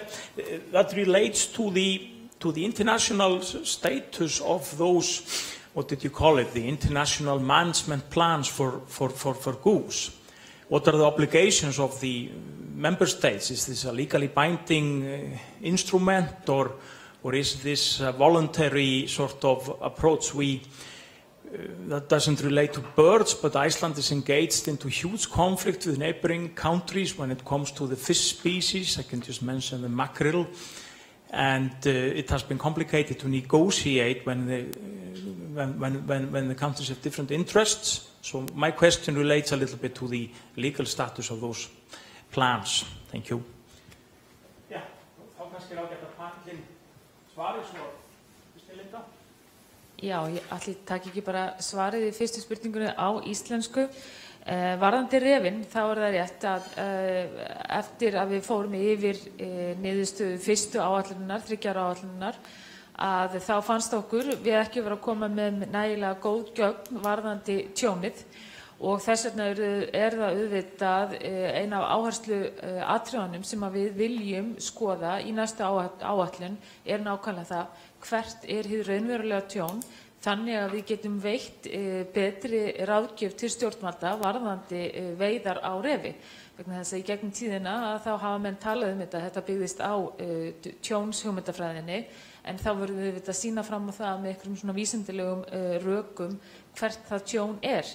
Þetta er vinnan framöndan en við erum líka auðvitað að horfast í augu við það að, að reyfaveiðar hafa stundar hér á Íslandi í, í ansi uh, langan tíma en, en okkar sín er, er mjög einföld. Við viljum uh, fá betri gögn til þess að byggja á og geta veitt stjórnvöldum uh, betri upplýsingar vegna þess að við erum líka að tala um það að þetta eru ansi mikið af fjármunum sem að uh, fara í þessa veiðar þannig að við þurfum að sína fram á það að þetta sé skinsamleg nýting á fjármunum. Eh, varðandi rjúpuna og að þá er ég nú svo heppin að vera hérna með Manuel Lenamir sem er mun eh, betri að, að svara þessum spurningum. En að sjálfsögðu eh, vitum við það að stopninin er ekki einn stór eins og hann hefur verið. En mér finnst þetta líka hafa komið ákveðlega fram hérna hjá öðrum fyrirlesturum að þú ertu við þetta að uh, stjórna stopnstarfum og þú ert að leifa veiðar uh, þegar að þó að stopnin sé eitthvað að fara niður en þú verður þá líka að takmarka þér og þess vegna er svo mikilvægt að vera í góðu samstarfi við veiðimenn og það verður náttúrulega að segjast eins og er að sá tími sem að rjúpnaveiðar eru lefðar eru þetta mun skemmri heldur en hann var þegar rjúpnastofnin var uh, á sínum hátindi. Uh, varandi hreindiraveðarnar og uh, að skjóta uh, kýrnar á þessu tímabili. Við hefum verið að, set, við fórum í ákveðna rannsóknarvinnu og við höfum svarað því að hérna, við vorum kærð fyrir þetta meðal annars á grundvalli laga um dýravelferð og okkar nýðustæð er svo og það er byggt á gögnum sem við höfum fengið frá uh, Náttúrustofu Östurlands eh, sem sýnir fram á það að eh, þessi, þetta ungviði sem að missa eh, sína mæður að það, sagt, það virðist ekki hafa mikil áhrif á viðkomi þeirra dýra til framtíðar. En að sjálfsögðu erum við alltaf að skoða nýri upplýsingar og við höfum líka lagt það til að við munum rannsaka þetta málefni betur. En þetta er eins og maður segir, við erum með, byggjum á þeim upplýsingum sem við höfum í dag en síðan að sjálfsögðu þurfum við sífælt meiri og betri upplýsingar. Þannig að við höfum, við höfum fundarstjóri ræður öllu, ekki ég. Það eru aðrir á, það verður að vera mjög stutt og Það voru mjög stutt, mjög. Eða sko náttúrstofu Östurlands segist hafa beðið um lengdan griðatíma fyrir kálfana ítrekka en að umhverfstofn hafi ekki sýnt. Er þetta rétt eða rátt? Þetta er, eh, já, ég get nú ekki alveg kannski vísað svo langt tilbaka en þessi umræður hefur komin. Við sendum inn slíka tillögu að með minni til ráðuneytisins á ákvæmum tímapunkti en höfum síðan að skoða málið aftur. En þetta er auðvitað eitt af því sem við mun, höfum verið að skoða og munum halda áfram að skoða. Takk. Yeah, I, I would like to add a little bit to this in regards to the ptarmigan, whether the, it was actually uh, were Iceland was breaking a law by uh, allowing uh, hunting of, of ptarmigan because the because the population is decreasing. Uh, of course, this is a very hot debate, and the ptarmigan was protected for two years because many of us, including me, thought that the, the uh, hunting was uh, should be reduced, and it has been reduced considerably. And uh, I think, uh, but there is still some unexplained deaths that are associated with hunting, uh, but we cannot actually pinpoint the uh, exact reason for it. But uh, as I told, as I said in my lecture before, uh, there, there Iceland is definitely breaking the, the act, uh, Wildlife Act uh, in paragraph seven in regards to other species. It's definitely unsubstantiated hunting in, in some of the species I mentioned. So, so, so, so that's probably a better example than the ptarmigan. And then just a small addition, eh, because uh, David asked about the Annex 2 in, in the Berne Convention. Uh, Iceland made exemptions for the for the for the barnacle geese, and, and same with the seals. So um, when you join these uh, international agreements, you can make exceptions. But uh, it's sarcastic that both the barnacle geese and also the whooper swan are on this annex, and both of them are. Uh, And I was not actually referring to Iceland, I was referring to the management of barnacle goose in, in Europe. Okay, okay, and then I just give uh, Peter Madsen. Yeah, okay.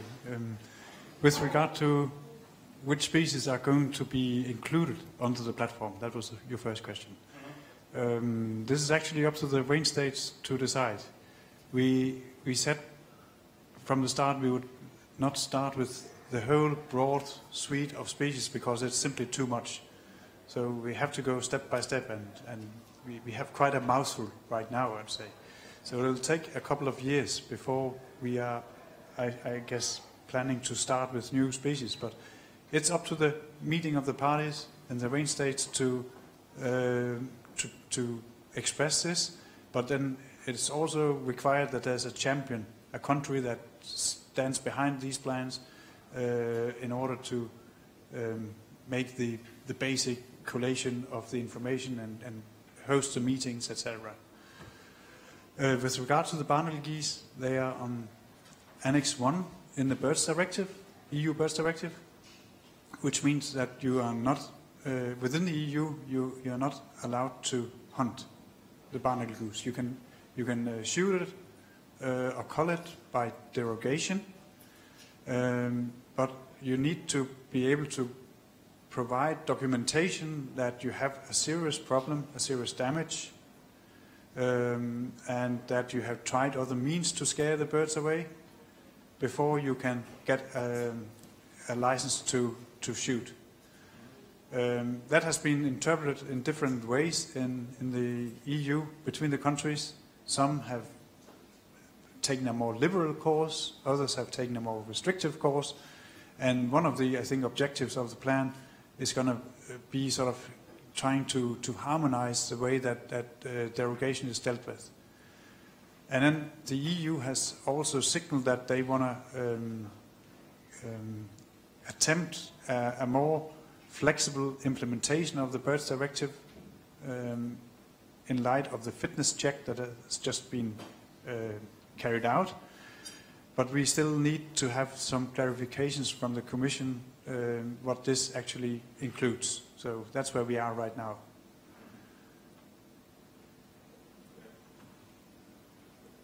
With the legal questions, I hand over to Eva. Okay, so um, basically, um, regarding the legal question, the agreement is legally binding. However, the, the plans, the action and management plans, are not legally binding.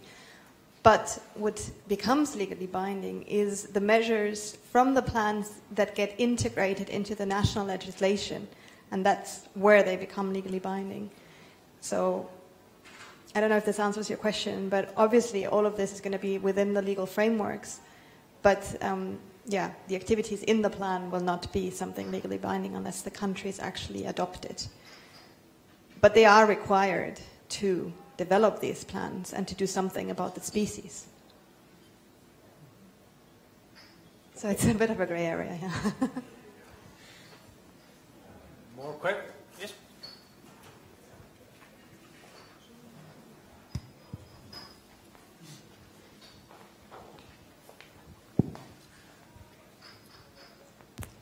Yes, hello. My name is Elva Lund, and I'm from the Hunters Association. Would like to thank you all for a very interesting presentations to start with. Like you said, that we are living here in a, and we are experiencing very different and strange times here in Iceland. The global warming is definitely, we are facing it. We are seeing the high Arctic species such as the ptarmigan, probably with uh, lower stock numbers than we have counted before.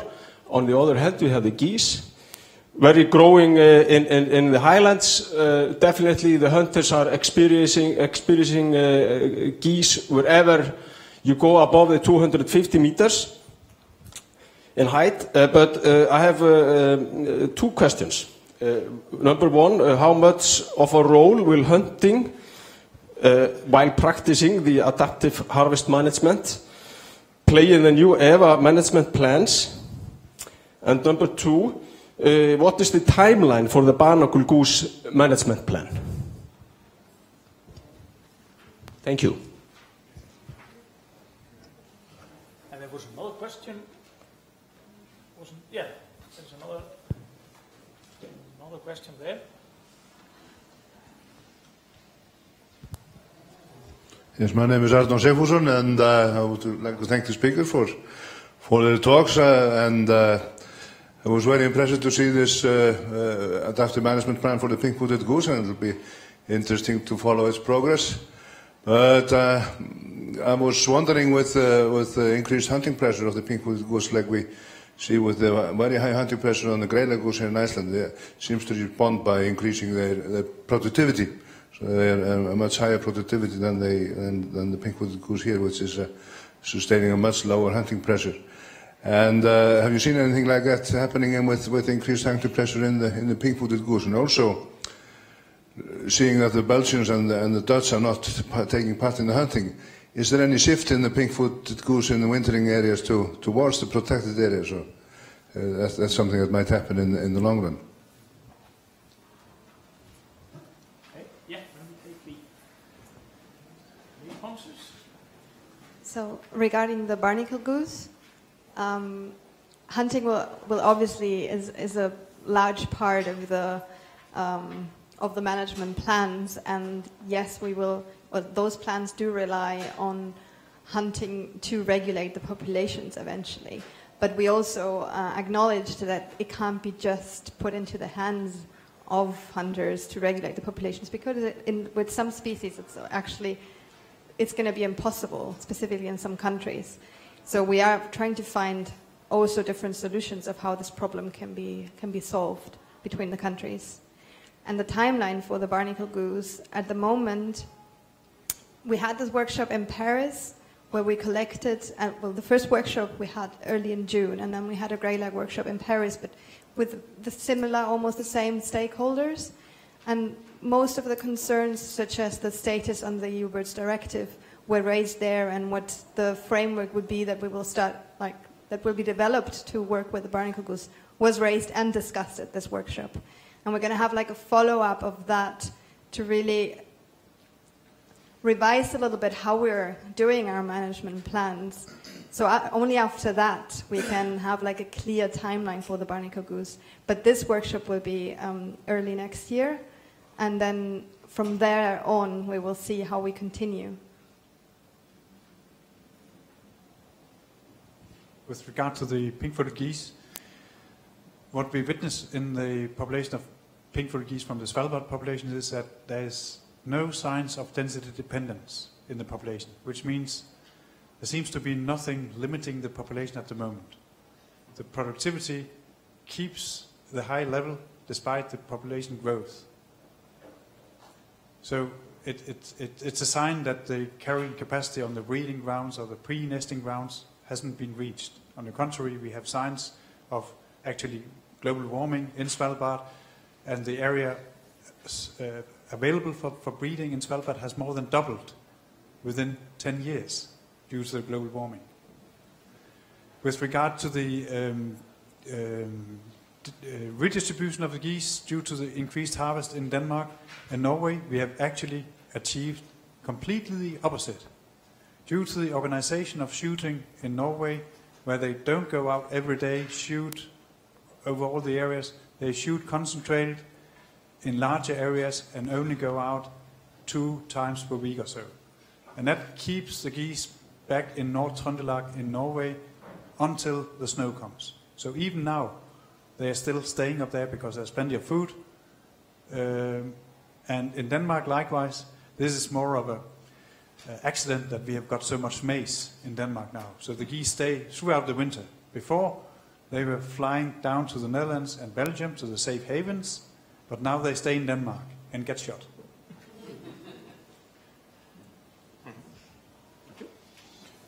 Thank you. So, so you're saying that um, overgrazing in Svalbard is not limiting the, the, the population. That's uh, really interesting because uh, we are getting uh, very worried here, we hunters, about, uh, about the highlands because we are seeing signs of overgrazing when we go up in the summers. Yeah, let me answer that immediately. Um, so far, it doesn't seem to be a limitation to the pink-footed geese. We see really dramatic changes in the tundra vegetation in some of the areas where we have the high numbers, pre-nesting and during nesting. But uh, as global warming is sort of opening more of the landscape, it's, it's what seems to be the limiting factor in the past was the number of available, or the area of available nest sites where they can start nesting. As soon as they, they arrive, they start egg laying, and that was limiting them in the past. It's not limiting them anymore. But uh, you may be right, in the longer term, this uh, uh, effect of the tundra changes may actually kick in as a, as a potential uh, limitation. But we are not there, there yet, not at all. Yeah, I, I can fully understand it, and, and I fully agree with, with Kristinn that that's something that we really should pay attention to.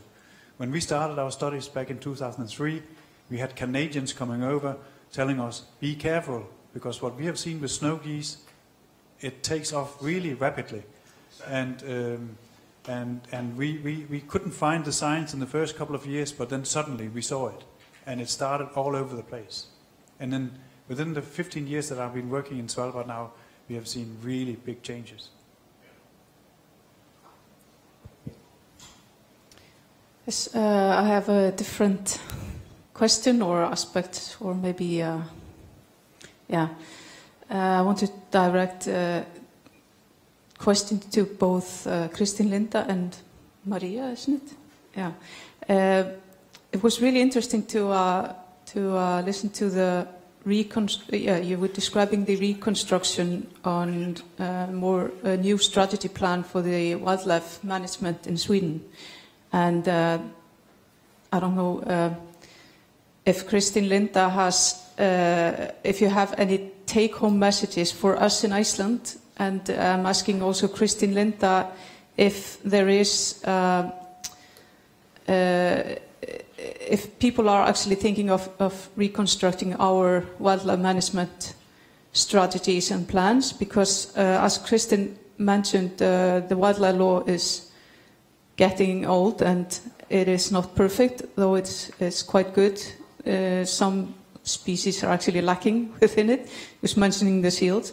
And also, um, he was also showing us striking uh, numbers of over harvesting species which are still hunted. And um, yeah, I, I address one question to Kristín Linda. Has then this been uh, considered? And uh, to Maria, what messages and uh, uh, consultancy can you give us in Iceland?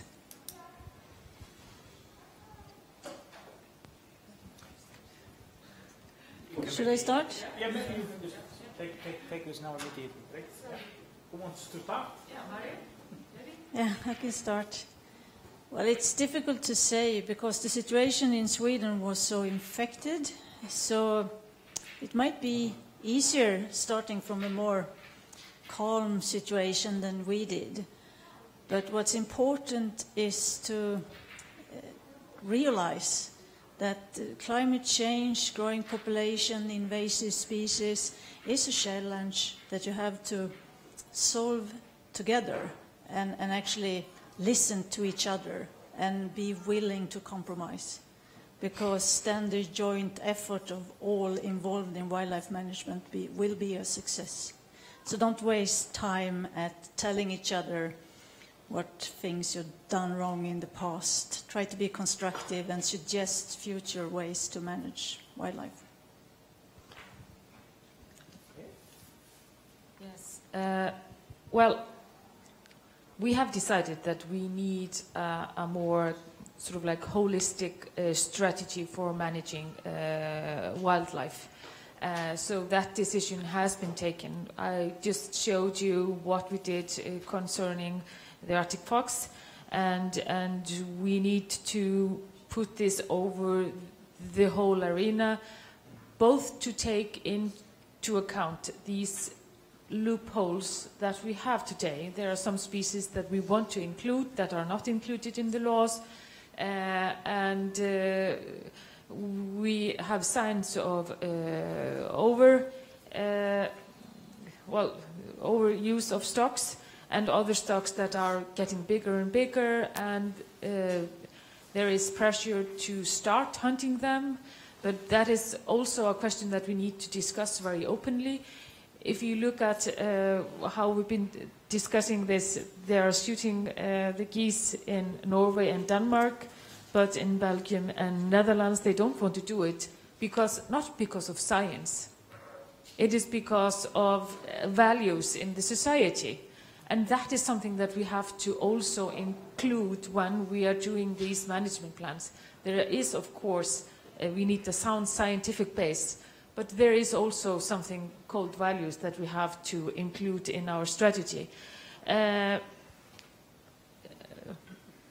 what we uh, need, in my opinion, is uh, having a very forward-looking uh, momentum because in the past we maybe sometimes been discussing the same thing over and over and over again uh, and not then looking at the big picture.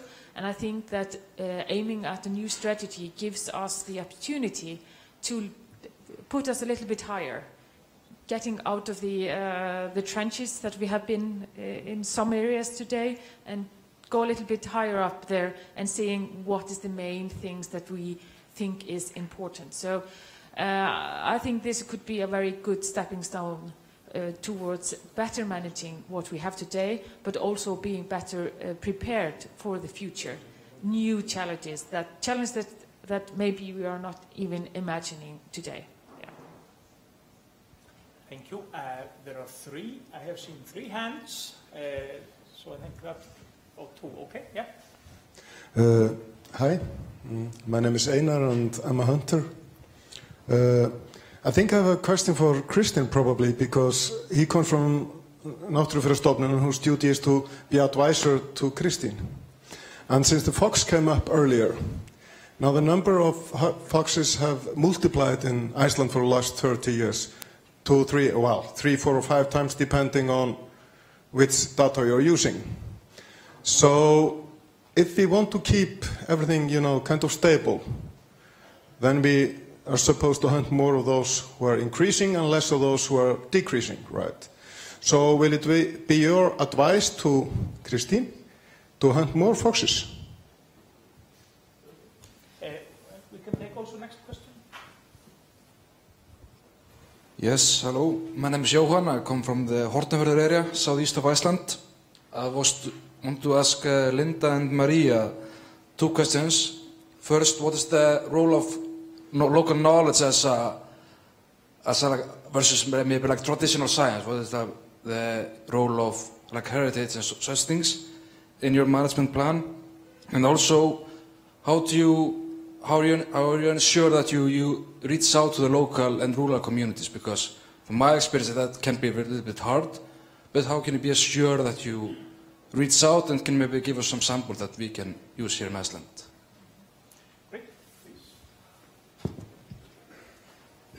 Yes, Einar, uh, my short answer is no. First of all, I think, uh, I mean, the fox population is, is, uh, is uh, at all-time high, or actually it might be a little bit de- de- decreasing, but still it's very large.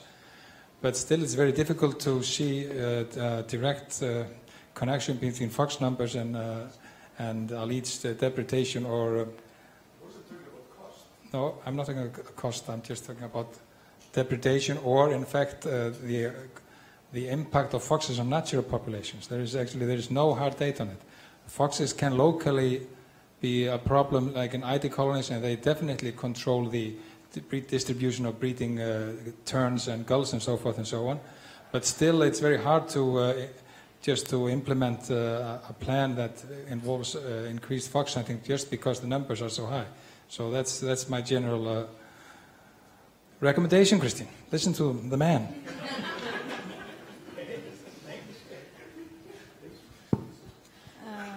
Thank you for the question. uh, That's really interesting. And we actually work quite hard with what we call traditional knowledge because we have the Sami herding uh, society that actually base most of their management on traditional knowledge. But we also have the hunters or the forest owners that knows a lot. So we actually tested the traditional and local knowledge. So my part, the first answer on the question is on, on moose. We tested if hunters, snowmobile, uh, snöplog. Uh, no, the thing you put, take away the snow with from the roads. Uh, snow plowers. The hunters, the snow plowers, and the forest owner actually could tell us the, the density of moose before we actually did the, the monitoring and the change, or at least the change from previous five-year period where we had the monitoring. And the people that were actually best on this was the snow blowers, because they are out a lot and see a lot of moose. And we did it on willow ptarmigans, asking the police, the custom, the Sami people and hunters. And they were quite good in, in tracing the population change and breeding success of large areas. So it's really important and it's a good and valuable complement in the management. Yes, you, as you told us, Maria, we, we uh, think it's not a competition between the different, uh, different knowledge, uh, uh, and they are complementary uh, to each other, the traditional and local knowledge. It's complementary for the science knowledge. And we have this example with, when we're working in this CLEO project, a circumpolar local observer network, that it's really important with local observations. And we also have it in uh, this example of uh, when we uh, take, uh, we have um, this uh, production model for semi-domestic reindeer. And uh, one part of this uh, model is uh, traditional knowledge from the Sami people. And uh, then we have the mm, uh, scientific knowledge, and we separate them. But if they, mm, if they um, added their knowledge in this model, um, I mean the weather or some losses uh, of the reindeer because of the weather or something, on diseases or uh, whatever, uh, then we can actually evaluate the both uh, uh, knowledge types, if you know what, what I mean. Thank you.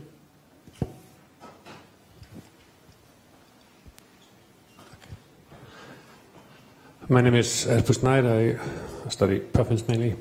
But my question is for uh, Kristinn. Uh, uh, Kristinn showed data uh, in uh, his talk about sustainability of harvesting Icelandic species. 31 species are allowed to be harvested, and roughly half of them are, are um, um, harvested in, in unsustainable fashion, meaning too many, giving the uh, capability of the populations involved. Uh, why haven't your institution proposed any um, management plans for any of these species in response to uh, these results. And uh, this has been going on now for, for some years. Uh, thank you. Uh, there was another hand there. Yeah, Arne from the uh, Hunting Association. Um, it seems we have a lot of things to do. And um, the good thing is that there is a consensus about, about the approach, the methodology, the one uh, Maria and, sorry, her colleague uh, talked about earlier, the strategy and, and how to implement it. So there has been a lot of discussions in, in Iceland for the, the, in the last decade. In, in general, using this kind of approach, and there is a consensus about how to approach this. But the important thing is to put things into action. And I have a question for uh, Kristín Linda, and uh, Jón Geir, you maybe represent the ministry. Um, are there any, being so motivated by the, the, the sessions we already have had here, are there any immediate next steps you, you are, have, are starting thinking about, already decided? Or are you waiting for some further motivation, motivation from, uh, from the Hunting Association or any other bodies?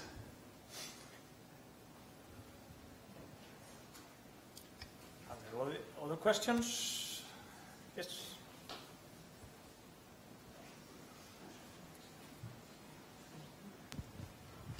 This is just a short one for, to Kristinn, and thank you for a very short and blunt answer. Uh, okay, if the fax is probably, well, they're very high, and uh, you don't think there's no reason to increase hunting, is there any species in Iceland that you think we should increase hunting on? Just, if there is any species, please tell me. I think we can take the answers now and then we leave and, and, and, and you can maybe take the question So very short. a bit later. And I would also like to signal that, uh, you know, after this round of answering, I will just open for questions for once and then we close because the time is flying. So if you have a burning question, please indicate to Bjarni that you want to come up with. Uh, Yes, regarding the first question here uh, about why we haven't done any management plan for these species that are, uh, the stocks are going down. Well, we haven't done what you could say a very formal management plan, of- but of course we are aware of this. And we have uh, been using maybe other more, not as direct tools uh, towards uh, for example, uh, getting knowledge, uh, getting information to, to hunters, talking to municipalities. Sometimes these hunting permits are connected to that. But this is something that we are being more and more aware of, and that why is why we are having this conference here now, because we want to do it in a more direct and open manner, and making sure that we make management plans, and that it also is a transparent plan. Uh, and that is maybe what we've been also uh, lacking uh, today, to be more transparent of what we are doing. Uh, but sort of the short answer is we haven't been that, been doing that in a very concrete way, but we've been doing it in, in a more uh, information uh, and sharing uh, with hunters. But we are planning for a more direct form in the future. And the next was regarding the next question. What was that? The next steps. Well, well, this is, as I said, this is the first step. Uh, no, we don't need any more encouragement. We have decided that we want to do this. Uh, and of course, uh, we will uh, be in contact with you uh, very shortly. But we need to, we wanted here to be at the starting phase, learn from our friends from Sweden, sort of like what kind of plan do we want to put forward. We need to have a, a more in-depth discussion with the ministry. Uh, how do they look at these kind of management plans? What should be included? What should not be included? Should it be a more broad management plan that uh, goes not just what uh, the agency is doing, but what other agencies are also doing? Uh, or should it be, more uh, central to our work? So, uh, well, we have already put it in, in our plans for next year to keep on with this work. So, yeah, you don't need to you, need you don't- need any extra drivers for us. We are going to do this. Thank you. Well, there are some uh, species that you could that could be hunted in a more intensive way than it's done today. Um, just an example as the, the pink foot. I mean, it's it's highly possible that or, that it's uh, causing some damage in the highlands, but we do not have the hard date on it. But we still have. Uh, it would be easy to measure it because we have these spots where vegetation has been measured for decades in the highlands. It should be easy to assess it. So that's a good candidate for it. But otherwise, I, I don't particularly I would encourage hunting of any specific species. There are some species that are totally protected. You would have to change the law. It could, you could easily harvest some of them in some manner, for instance, eider ducks. But that, of course, is a, a social uh, contract that he would break, so that's, a, that's another issue. But it, it, there is nothing against harvesting even songbirds. We don't harvest them, but the others do. So, so there are many candidates. Just I give you the list in secret.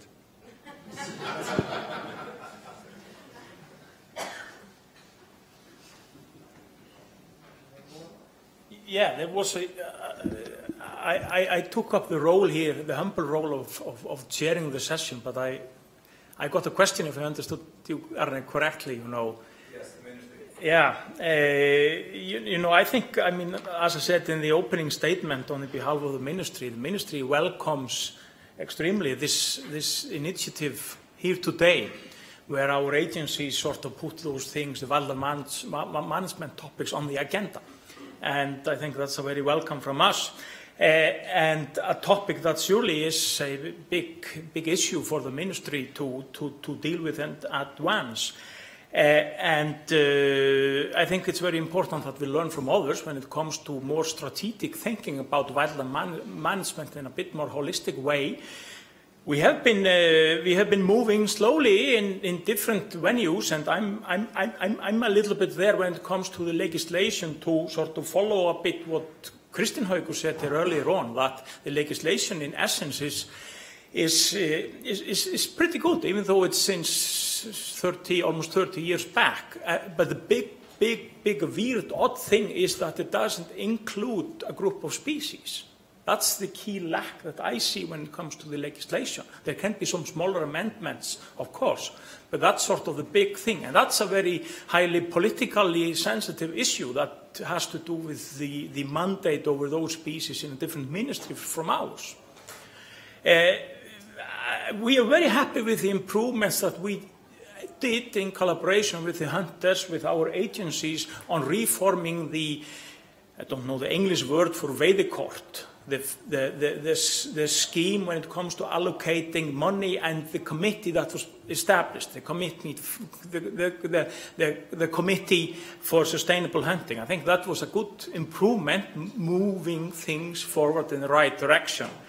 Uh, when it comes to the individual species, that's so, and, and, and more protection on it, uh, I can just mention the protection of teista this year, that I think was a good step.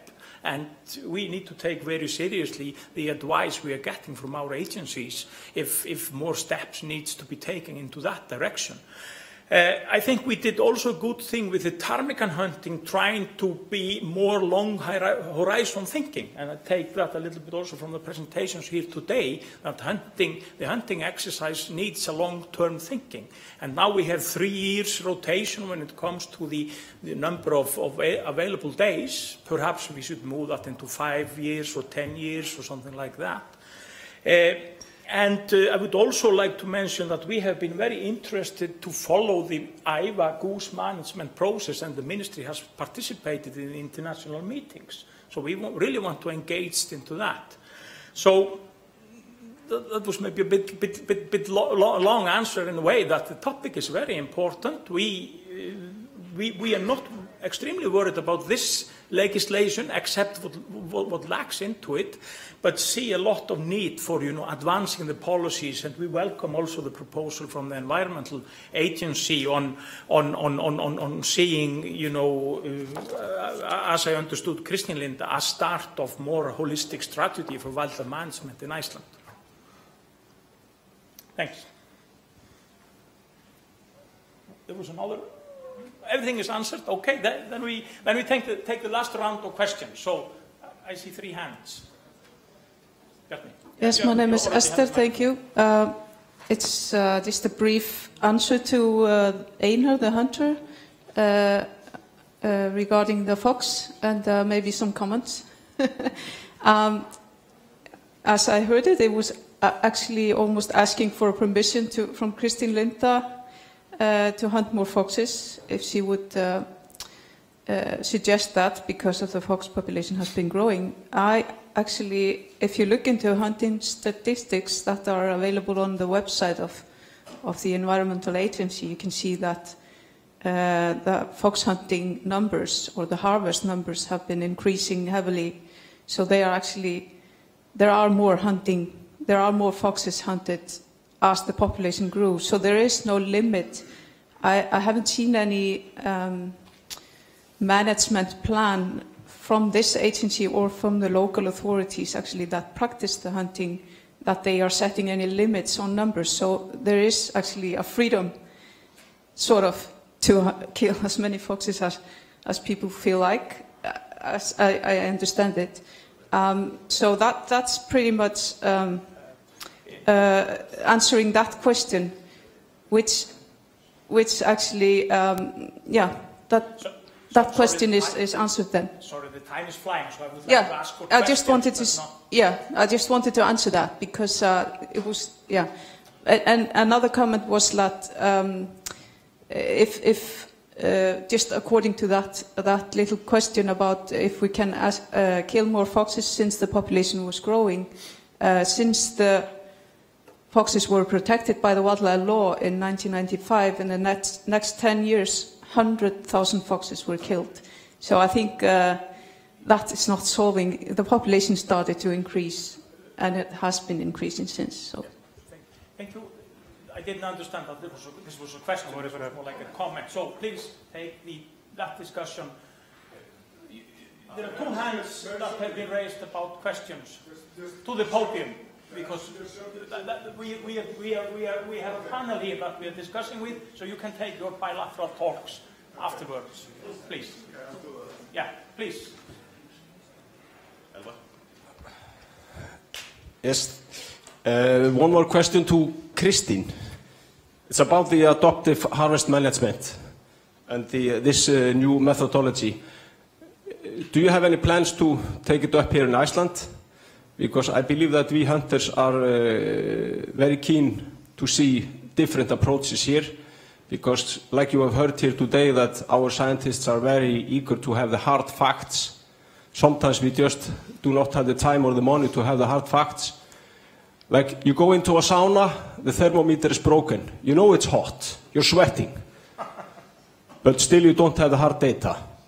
So I'm saying we, we need to, uh, because of uh, the size of our country and the population, we don't have the money to uh, do everything we like to do. So uh, I think we need to uh, search for a new approach. There was another hand, is that? No, it was the same That was the same, yeah, okay, yeah, excellent. Yeah, sorry.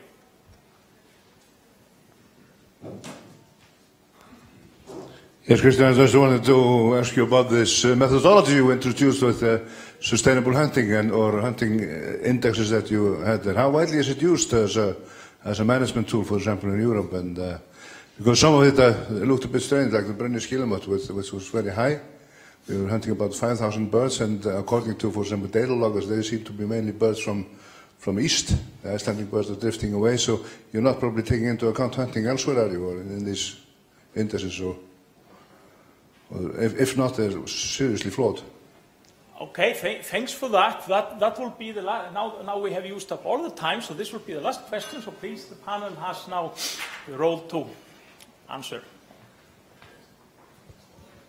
Uh, just short regarding uh, what Esther was saying about uh, the, the foxes. Uh, when we did the first plan, we realized that we did not have very good data to make a, a suggestion of how much hunting pressure should be.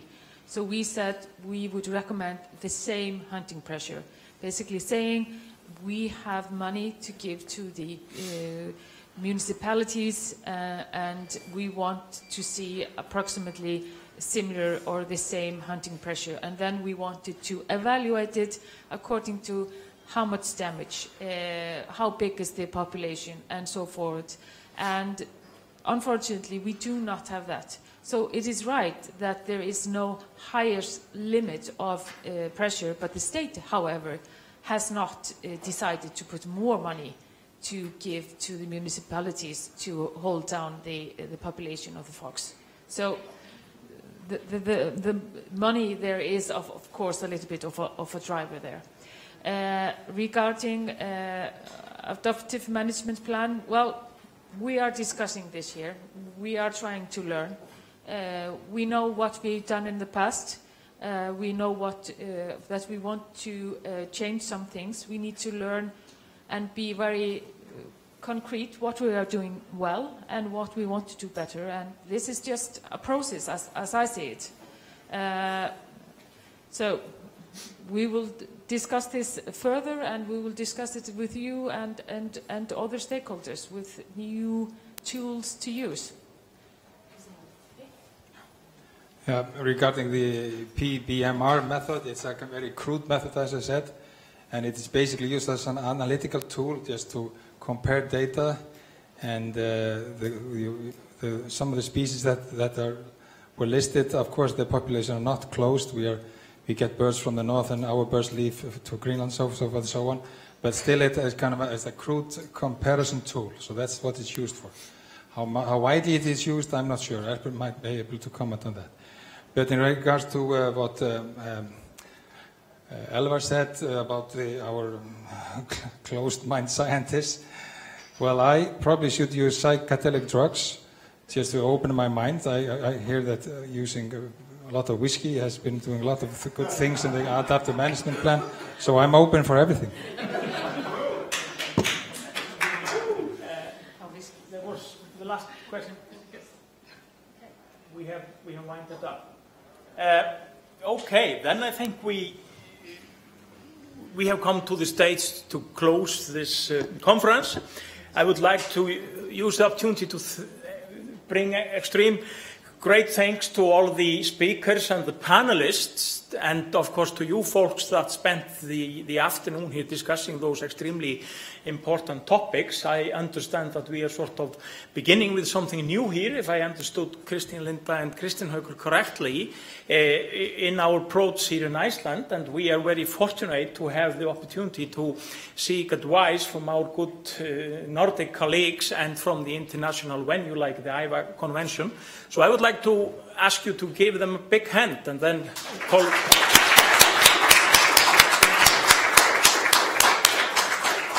Thank you.